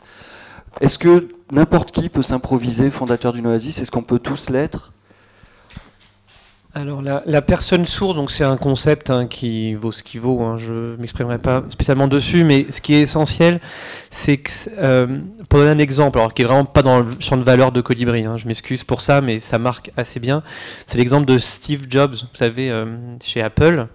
Il, est chez Apple, tout va bien. Il s'en va, tout va mal. Il revient, il revient dans, Apple et tout est à décoller à ce moment-là. Donc c'est pas Steve Jobs qui fabrique les ordinateurs ou quoi que ce soit chez Apple. Et c'est-à-dire que chez Apple et dans nos projets, c'est pareil, il peut y avoir des personnes qui, sans forcément être euh, des leaders de l'opérationnel, pour autant, jouent un rôle particulier qui peut être assez subtil. C'est leur subjectivité propre euh, est une richesse pour le projet. C'est-à-dire que, au-delà des trucs très objectifs dans un projet de euh, cadre juridique, de ce qui marche, etc., il y, y a aussi une part intuitive dans un projet. Il y a des choix qui sont à faire. Et ces choix, comme ils sont subjectifs, bah, ils sont assez difficiles à décider ensemble. Donc dans des projets, il, y a souvent des personnes, parfois de façon très, parfois de façon complètement invisible, des architectures invisibles aussi qui existent. Hein, c'est pas forcément ceux qui dirigent le projet, mais qui vont euh, impulser de par leurs intuitions des orientations stratégiques qui vont permettre au projet de, réussir. Et donc les personnes sources, c'est savoir dans un projet, et là, là pour répondre à ta question Yann, euh, c'est savoir aussi être à l'écoute de ses intuitions, c'est savoir aussi qu'il y a une dimension un peu irrationnelle dans un projet, qui fait qu'entre un lien, entre un, un, un, lieu, un territoire et puis la personne fondatrice, il y a aussi d'autres choses qui jouent que ce qui est purement visible, mmh. et d'essayer d'être à l'écoute de ça. Donc moi, pour les gens qui veulent créer une oasis, déjà, il faut savoir que c'est très compliqué, donc je dirais pas que tout le monde peut créer une oasis, mais en tout cas, ceux qui ont envie de le faire, c'est d'être aussi à l'écoute vraiment en profondeur de ce qui les anime. Et si elle va se connecter finalement à ça, bah, ils auront des réponses, aussi des fois des échecs, hein. euh, mais en tout cas, ils, ils, auront une ressource supplémentaire, de la matière en plus pour faire avancer leur projet. Hmm. Peut-être juste un mot pour, euh, pour les personnes qui, se, qui sont dans, dans, cette phase un peu de réflexion autour de la création d'une oasis. Euh, moi, s'il y avait un conseil euh, qu'on que, qu'on donnerait, nous, euh, avec voilà, trois ans de recul sur la, création de l'oasis de Serendip, c'est de ne pas négliger l'importance de l'accompagnement dès le début. C'est-à-dire, faites-vous accompagner. Euh, notamment euh, euh, voilà, travailler avec un facilitateur, quelqu'un qui va vraiment aider le collectif à se constituer, permettre les échanges, permettre de créer la gouvernance, etc. Nous, on s'est beaucoup fait accompagner, on, on se fait encore accompagner. Euh, et euh, s'il n'y avait pas eu euh, l'accompagnement des colibris, notamment à une époque pour notre projet, bah, le projet aurait pas, enfin, on serait pas là, on n'en serait pas là aujourd'hui. Et je pense que c'est quelque chose sur lequel on est, il y, a, beaucoup de, encore beaucoup de résistance. On a beaucoup de résistance à accepter qu'il y ait une partie du, du, du, voilà, du support du projet qui peut aller vers une tierce personne. Mais en fait, ce, ce, ce support-là, il est hyper important. Voilà, il est vraiment c'est dans les moments euh, de crise que euh, ce, ce, choix d'avoir de, de, de s'être fait accompagner, euh, il, est, il est déterminant. Hmm. Est-ce que de manière un peu plus spécifique, tu peux préciser la, la nature des, des, accompagnements que vous avez reçus euh... C'est dans tous les domaines. Hein. On s'est fait accompagner sur le montage juridique, on s'est fait accompagner sur euh, euh, le montage financier, on s'est fait accompagner sur euh, toute la dynamique de groupe, la gouvernance. Euh, enfin, nous, on s'est fait vraiment accompagner sur tous les domaines. Et même au-delà d'accompagnement de, spécifique sur des domaines, c'est vraiment l'énergie du groupe euh, qui a été accompagnée pendant euh, un an et demi par une, une, une facilitatrice qui est dans, ici dans la vallée. Et, qui, et voilà, et ça, ça a été vraiment, ça a permis au, au projet de se lancer et de s'ancrer dans la durée. Génial. Um, il y a les compagnons Oasis pour ça. ah, c'est le moment d'en parler, oui. On va peut-être, euh, bah, peut-être le Mathieu, c'est peut-être toi le mieux placé pour euh, pour en parler. Donc c'est c'est une douzaine de personnes qui ont été spécialement formées euh, pendant cinq semaines pour justement être capables d'accompagner les projets d'Oasis. Euh, où ils en sont aujourd'hui d'ailleurs? Oui, alors en fait, euh, pour rappeler un peu de l'histoire, donc on a lancé un MOOC justement donc à l'université des Colibris qui s'appelait Concevoir une Oasis début 2016. Il y a eu un afflux de projets qui avaient envie de se créer à ce moment-là, et on s'est vite trouvé débordé à Colibri en se disant euh, bah, qu'est-ce qu'on fait? On avait je crois 450 demandes de projets. Alors certains qui n'allaient pas aboutir, hein, mais en tout cas beaucoup de projets des cahiers des charges qui voulaient qu'on les accompagne. Euh, il n'y avait que moi à ce moment-là hein, dans le projet Oasis, donc c'était pas possible. Euh, et en fait, là, il y a un choix qui est assez stratégique, qui était de se dire est-ce que, bah, du coup, face à ça, Colibri embauche, Colibri euh, met des moyens euh, supplémentaires pour accompagner les projets, ou est-ce qu'on se dit déjà, on pense à ce qu'un jour, bah, Colibri, c'est qu'un membre de l'écosystème et qu'il ne faut pas le mettre systématiquement au centre, et est-ce qu'on n'essaye pas de créer des conditions d'une résilience plus large de cet écosystème en mettant en place une solution qui ne dépend pas que des moyens financiers de Colibri. Donc on a recensé une quinzaine, en fait ils sont 15, les compagnons, c'est beaucoup, hein, euh, 15 accompagnateurs qui ont été euh, formés, mis en réseau par Colibri, qui ont chacun leur spécificité mais qui normalement deviennent généralistes, c'est-à-dire qu'ils ont été formés un peu à tout, et ils s'entraident beaucoup. C'est aussi une super, un super exemple de coopération. C'est presque une sorte d'oasis virtuelle parce qu'ils habitent pas au même endroit, mais ils forment vraiment un collectif euh, très soudé. Et ils proposent des accompagnements qui sont des accompagnements courts. Alors ça, c'est aussi la spécificité qui est peut-être à réfléchir, mais qui était le fait de se dire, nous, on prône quand même un empowerment, c'est-à-dire que les citoyens se prennent en main et portent les projets eux-mêmes on n'avait pas forcément envie d'entrer en concurrence avec les, ce qu'on appelle les AMO, assistants à maîtrise d'ouvrage, qui sont plutôt là pour accompagner un projet tout le long de, son, montage. Mais plutôt, eux, c'est vraiment les gens qui sont là pour, pendant une certaine période, pendant quelques jours, euh, apporter un regard, débloquer une situation, euh, euh, créer des, des contacts avec, avec, des spécialistes, etc. Donc ils proposent des formules, et voilà, ils sont un peu partout en France. Et effectivement, ceux qui veulent commencer euh, mais ils ont quand même un projet qui est un petit peu écrit, parce que si c'est juste pour réfléchir, c'est pas forcément la peine, mais qui ont déjà un embryon de projet qui se demande comment commencer, ça peut être une bonne, euh, une bonne porte d'entrée. Ouais. Et ils sont venus ici, d'ailleurs je tiens à dire que Loïs Serendip est un de leurs projets chouchou, parce qu'ils sont venus, c'était au tout début ici, je crois que c'était il y a plus d'un an et demi, et euh, voilà, ils m'en parlaient, et moi pour information, je n'étais jamais venu avant, avant, aujourd'hui, et je suis très heureux du coup d'être là, parce qu'ils ont mis beaucoup de bien de cette oasis, donc je vous invite aussi à venir. Donc euh, voilà, donc on arrive euh, du coup euh, avec cette invitation dans les presque dix dernières minutes de ce webinaire. Euh, donc j'ai voilà encore trois questions et d'autres qui m'arrivent. Il y a cette question notamment d'Isa.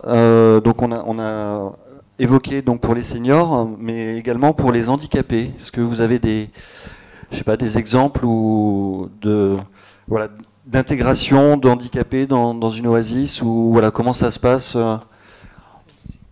nous, on n'est pas concernés directement, mais on réfléchit plus en termes euh, d'accessibilité globale du projet et du terrain. Donc que ce soit euh, pour les visiteurs, réfléchir des cheminements qui soient accessibles en, fauteuil roulant, par exemple. Euh, réfléchir aussi, comme nous le projet Le Cœur, ça, reste la forêt comestible, on réfléchit à un système de panneaux qui permettrait à toute personne ayant une déficience visuelle, voilà, motrice, de pouvoir quand même apprendre des choses en étant sur le terrain sans avoir besoin d'être assisté par quelqu'un, voilà, pour que ça puisse être aussi empowering, on peut dire, voilà, qu'ils puissent faire par eux-mêmes. Euh, après, en termes d'habitat, il y a quand même des structures qui sont particulièrement adaptées pour accompagner les projets euh, qui veulent intégrer des personnes à mobilité réduite ou avec des handicaps. Euh, on n'y est pas confronté, mais c'est quelque chose qu'on souhaite quand même garder présent dans le projet, notamment parce qu'on ne sait pas ce qui peut nous arriver, on ne sait pas qui seront les futurs habitants de l'Oasis. Donc on veut se laisser toutes les portes ouvertes et garder, garder en tête que les personnes à mobilité réduite ont une place au sein de ce projet, c'est important pour nous. Hmm on, a des on est dans, un, le cadre d'une rénovation. Euh, nous, on a des contraintes, architecturales qui sont importantes euh, par rapport à, l'accessibilité de, la bâtisse. Et donc, c'est quelque chose qu'on travaille avec euh, nos architectes pour essayer de faire en sorte qu'il y ait au moins un logement et surtout des salles d'activité, les endroits qui, sont utilisés par le public à l'OS de Serendip qui puissent être au maximum accessibles. Voilà, donc c'est un, une question sur laquelle on se penche.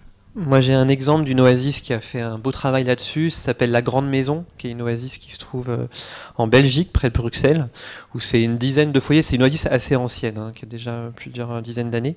Euh, et, depuis le départ, ils ont une personne qui est handicapée, un lourdement handicapé, un monsieur qui s'appelle Luc, qui est euh, par ailleurs n'est pas du tout handicapé mentalement, quoi, et juste un mm. handicap physique de, naissance. Et en fait, ils ont mis au centre de leur raison d'être aussi le fait de prendre soin de Luc. Euh, et c'est une très belle histoire parce que derrière, euh, effectivement, ils ont pensé les habitats et la circulation entre les appartements pour intégrer Luc. Euh, ils sont une dizaine de foyers. la difficulté que je vois en général dans le fait d'accueillir des personnes handicapées, c'est que si on n'a pas pensé au départ, c'est un peu ce que vous dites là sur la rénovation, c'est assez compliqué. Donc c'est vraiment un truc à anticiper. Et il faut savoir que il faut essayer de faire que ça ne coûte pas trop cher, parce que les aménagements s'appellent ERP, établissement sans du public, qui induisent souvent ces conditions d'accueil de personnes handicapées, notamment qui peuvent être très coûteux s'ils sont mal réfléchis. Donc voilà, donc c'est vraiment dans le design initial un point à prendre en compte, je pense. Ouais.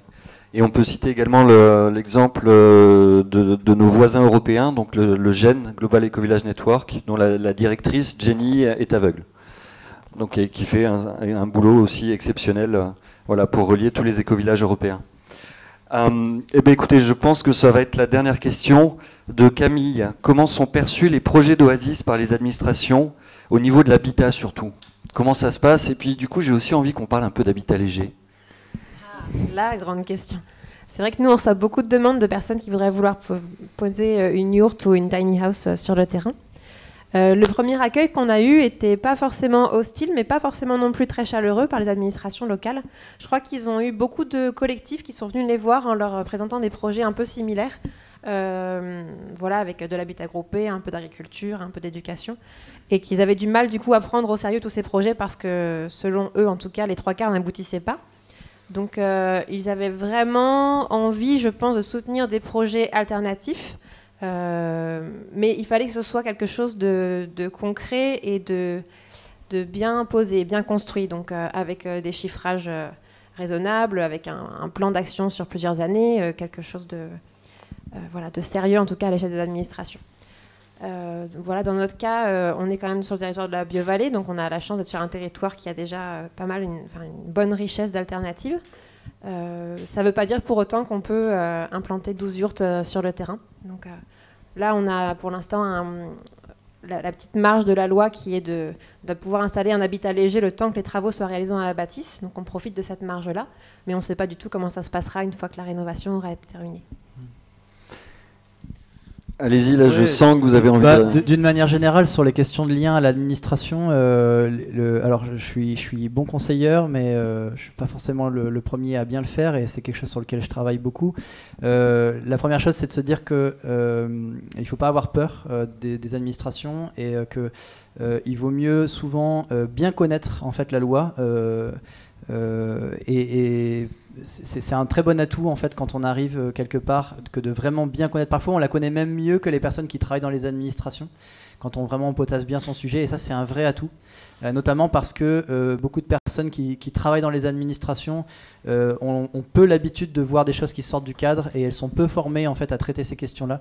Et donc elles vont par souci de, de facilité, parce qu'elles sont surchargées de travail, en général écarter les propositions et dire non c'est pas possible, non c'est pas possible, sans forcément chercher à réfléchir. Donc parfois il faut pré-mâcher, mâcher, mâcher le travail, amener les choses, montrer que c'est possible, montrer comment ça s'est fait ailleurs. Euh, éventuellement inviter les administrations à, aller voir des expériences euh, qui, qui, ont fonctionné et de montrer voilà, quel, quel, avantage elle peut tirer à, se pencher vraiment sur la question. Euh, et puis il y a une deuxième chose qui, est, euh, qui, moi me semble assez, assez euh, importante, c'est d'être créatif, c'est-à-dire de transformer la contrainte, comme souvent en permaculture. le problème c'est la solution, transformer la, contrainte pour essayer d'avoir des, solutions innovantes. Alors j'emprunte à, mon ami Yann Sourbier euh, qui est du. Euh, le, voilà, il, parle beaucoup d'aïkido administratif. C'est quelque chose qu'ils ont beaucoup, beaucoup pratiqué depuis 40 ans au Viellodon avec des, solutions qui, moi, me, laissent parfois euh, rêveur. Voilà. Et je pense que c'est vers ça qu'il faut aller. D'autant que la loi elle-même évolue, évolue assez vite, même si on aimerait qu'elle évolue plus vite. Notamment la loi Allure introduit, euh, a introduit certaines possibilités, euh, le pastillage, il y a beaucoup de choses euh, qui, sont encore méconnues, pas du tout utilisées, ils l'ont jamais fait dans la plupart des communes. Et donc pour eux, euh, voilà, c'est, il faut presque leur mettre sous le nez, entre guillemets, les possibilités pour qu'ils acceptent de s'y pencher et d'y consacrer un petit peu de temps. Voilà, et, pas hésiter à être, euh, à, vraiment s'associer, à aller sur la colline, voilà, de l'administration, essayer de comprendre comment elle fonctionne, pourquoi elle a telle ou telle réaction, et puis d'essayer de l'entraîner vers quelque chose de, commun. Donc c'est, pas évident du tout. Nous, on, ça va mieux. Euh, là, on, commence à, s'apprivoiser mutuellement avec euh, les administrations locales, et ça passe, voilà, par aussi beaucoup de temps, prendre le temps et s'apprivoiser mutuellement. Oui, je, peux, bon, je suis d'accord avec tout ce qui a été dit. Euh, la question de l'administration, pour moi, elle est vraiment cruciale. C'est-à-dire dans ce qui fait rater les oasis, au-delà des questions humaines et des questions financières, troisième frein, c'est les questions administratives et, et particulièrement les questions euh, d'urbanisme c'est euh, voilà, c'est l'administration, il est particulièrement gênant sur des questions de, de, de, de PLU, plan local d'urbanisme. Euh, moi, je vois beaucoup de lieux qui pensent qu'ils achètent une parcelle non constructible et qui se disent on arrivera à faire modifier l'urbanisme pour le, pour, le, pour le modifier. Et plein de projets se sont cassés les dents dessus. C'est-à-dire qu'il faut être assez réaliste là-dessus. C'est que des fois, on ne peut pas modifier facilement des plans locaux d'urbanisme, notamment qui ont été revus depuis peu de temps.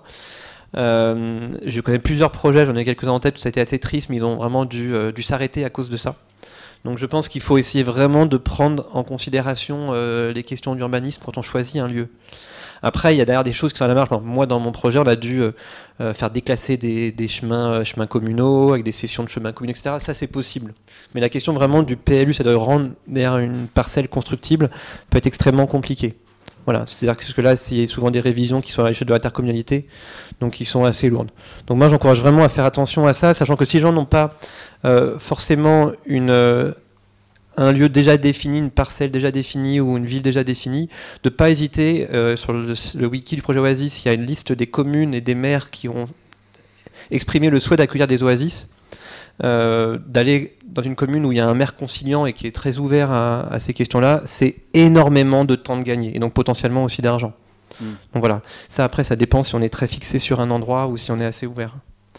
Oui, bah, pour, pour, pour, pour euh, compléter, je pense que rencontrer ces élus assez rapidement, pas forcément toute la population locale, mais au moins les élus, c'est quelque chose d'assez essentiel. Ouais. Ouais. Bah, moi, je peux, témoigner pour mon cas personnel, puisque euh, on est en train de, rechercher notre lieu pour une oasis euh, dans l'Hérault. Et, euh, et, vraiment, on, a rencontré des maires qui parfois étaient très ouverts au projet et des fois qui étaient complètement fermés. Et souvent, en fait, en discutant, en tout cas, je pense à deux d'entre eux, bah, ils se sont montrés complètement intéressés par une micro-crèche, par voilà, des activités qu'ils pouvaient avoir sur le lieu. Et à ce moment-là, bah, quand on commence à trouver une forme de coopération, on sent bien que c'est vachement plus aidant que, euh, que quand on est voilà, enfin, dans, dans des tout de suite en arrivant en marge de la légalité. Et, et à ce moment-là, c'est pas forcément une, une, bonne manière d'aborder les choses. Quoi. Ouais, et c'est là que toutes les régions ne se valent pas. Hein. C'est-à-dire que je pense qu'il y a des régions qui sont plus facilement ouvertes que d'autres aujourd'hui. Hein. D'accord. Ouais. Um, il nous reste euh, normalement 25 secondes, mais on va prendre un peu plus. Euh, voilà, pour un, dernier mot, euh, après toute cette aventure du MOOC Permaculture, donc euh, ben, j'ai envie de vous le dire maintenant en fait. Donc le MOOC ne va pas fermer le 19 février. Vous avez été nombreux à nous demander de le prolonger pour pouvoir continuer, pour pouvoir profiter des, des contenus. Donc on va le prolonger jusqu'au 25 février. Donc voilà, l'animation, le support continuera. Donc il vous reste une dizaine, dix jours en fait exactement, euh, pour finir le MOOC. Donc euh, allez-y, profitez-en. Euh, si vous n'êtes pas encore inscrit, eh ben faites-le. Il est, encore, c'est encore possible. Donc jusqu'au 25 février. Et voilà, donc qu'est-ce que je, maintenant je me retourne voilà vers vous et qu'est-ce que voilà un dernier mot, qu'est-ce que vous avez envie de dire à tous ces participants du MOOC? Qui ont découvert la permaculture et qui j'imagine euh, Bah, moi, sont au début de leur chemin. Moi, j'ai envie de dire bravo déjà, bravo pour euh, ce que vous avez fait jusque-là, même si vous n'êtes pas allé encore euh, au bout du MOOC, même si vous êtes en chemin, parce que je pense que le, le plus dur, c'est se mettre en mouvement. Voilà, dans beaucoup de parcours de, de transition, en tout cas pour moi, c'est vraiment les premiers pas qui sont déterminants. Euh, de ne pas chercher à faire euh, gros ou à avoir euh, voilà, quelque chose d'énorme à réaliser, de faire des petits pas. Donc ça, on en a déjà pas mal parlé dans ce, dans ce MOOC et moi, ça me semble vraiment essentiel. Et puis aussi de pas rester dans, quelque chose de, trop intellectuel, de, passer à la pratique, même si vous n'avez pas de terrain, même si c'est en travaillant sur votre design de vie, même si c'est en allant rejoindre d'autres personnes près de chez vous, même si c'est en allant vous former dans, les multiples lieux qui proposent des formations en permaculture pour avoir un petit peu les mains dans la terre. Voilà, faites, euh, faites quelque chose, un pas en direction de, de la pratique. Euh, voilà, et puis bah merci. euh, C'est très bien. Voilà. Merci. Jessica? Euh, moi, je veux juste dire qu'on est, on est toujours ravis de rencontrer des gens qui sont euh, en chemin. Leur chemin les mène euh, rarement là où ils l'avaient prévu au départ. Et c'est un peu le, le concept de la sérendipité euh, qui nous a amené à donner ce nom à l'Oasis aujourd'hui. Euh, je rejoins tout à fait ce que dit Sam. Euh, on avait commencé, enfin, il a expliqué que le projet a démarré en 2014, mais bien avant ça, on avait commencé par se faire des petites euh, vacances formation où on allait visiter des projets collectifs pour voir voilà, ce qui nous plaisait, ce qui nous plaisait pas en termes d'organisation, d'aménagement. Donc, allez voir ce que font les autres et vous saurez de mieux en mieux ce, qui, ce qui vous convient pour vous et ce qui vous convient pas. Oui, ben moi aussi, je voudrais dire bravo à ceux qui suivent le MOOC parce que c'est génial de là où on est, de voir euh, toute cette vie, tous ces événements, euh, tous ces commentaires. Euh, moi, je vous encourage vraiment à garder les principes. Moi, la permaculture, ce qui m'a le plus nourri, c'est vraiment les principes. Je trouve que c'est vraiment la clé sur laquelle on peut s'appuyer pour beaucoup de choses. Moi, je sais que j'y reviens extrêmement souvent, même dans d'autres contextes que le design d'un lieu, et euh, notamment un élément, plusieurs fonctions, etc. Et ça peut vraiment être des espèces de, de petits mantras qu'on se répète à des moments donnés pour faire des choix. Donc ça, euh, si vous n'êtes pas au moins arrivé jusque-là, allez-y, parce que franchement, moi, je pense que c'est le, c'est le, le- le truc le plus important. Euh, et puis l'autre chose, c'est que je sais que sur le wiki du MOOC Permaculture, il y a plein d'événements qui ont été notés après la fin du MOOC, des Ouais. formations, des CCP, etc.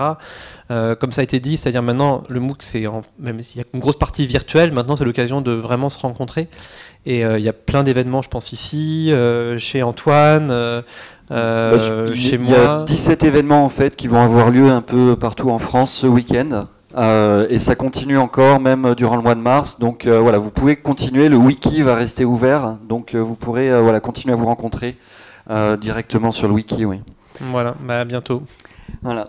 Euh, donc ben, j'ai envie vraiment moi également de vous remercier. Euh, je vais dire, je dois avouer que je, ça va me manquer ces webinaires tous les 15 jours. Donc euh, voilà, on n'a pas encore de prochaine date fixée euh, pour, pour la suite. Par contre, pour la suite, pour l'Université des Colibris, ce sera un parcours sur l'alimentation. Manger sain et pas cher, c'est possible. Et un, un nouveau MOOC qui arrivera fin septembre sur la démocratie. Donc là aussi vraiment quelque chose euh, de chouette. En tout cas, j'espère sincèrement que ça vous plaira. Et tout ça, ben, on le fait aussi grâce à vos dons. Euh, c'est essentiellement financé par vous. Euh, donc surtout n'hésitez pas, vous avez la possibilité de, contribuer également au MOOC en, en donnant à Colibri. Et euh, pour enfin vraiment vous dire merci, donc on avait enregistré lors du dernier webinaire, euh, enfin non pas du dernier webinaire pardon, le, avec Claire Verret le 11 janvier. Après le webinaire, on avait enregistré un- une chanson sur l'arbre. Et donc euh, voilà, Claire a accepté qu'on vous partage ça, et donc euh, voilà, on vous propose de de se quitter, de finir ce webinaire en musique avec Claire. Voilà, merci beaucoup à tous, bonne fin de MOOC et à bientôt.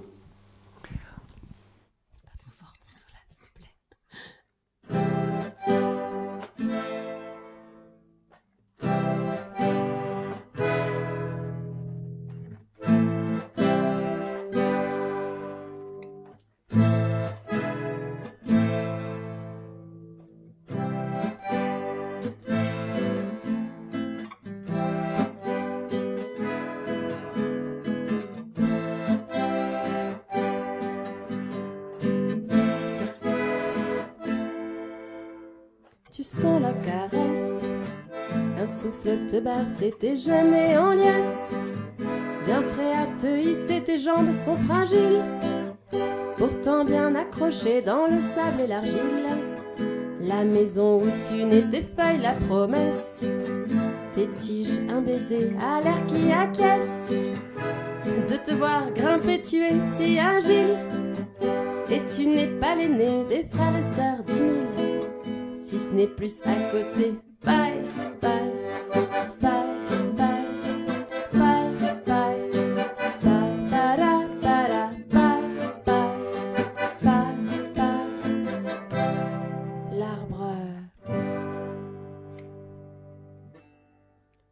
En liesse.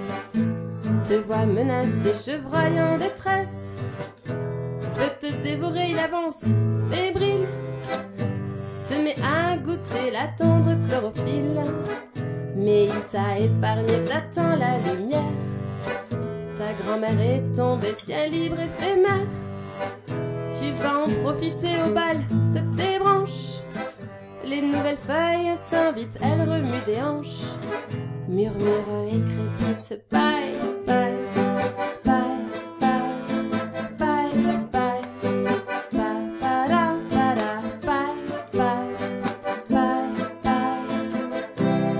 L'arbre, le berceau du monde.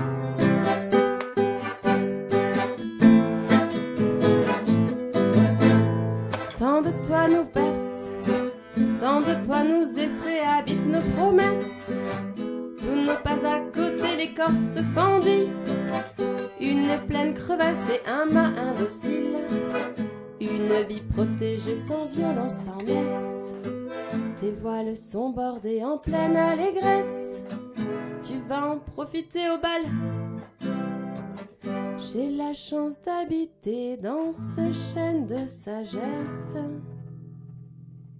Pour de nombreuses années.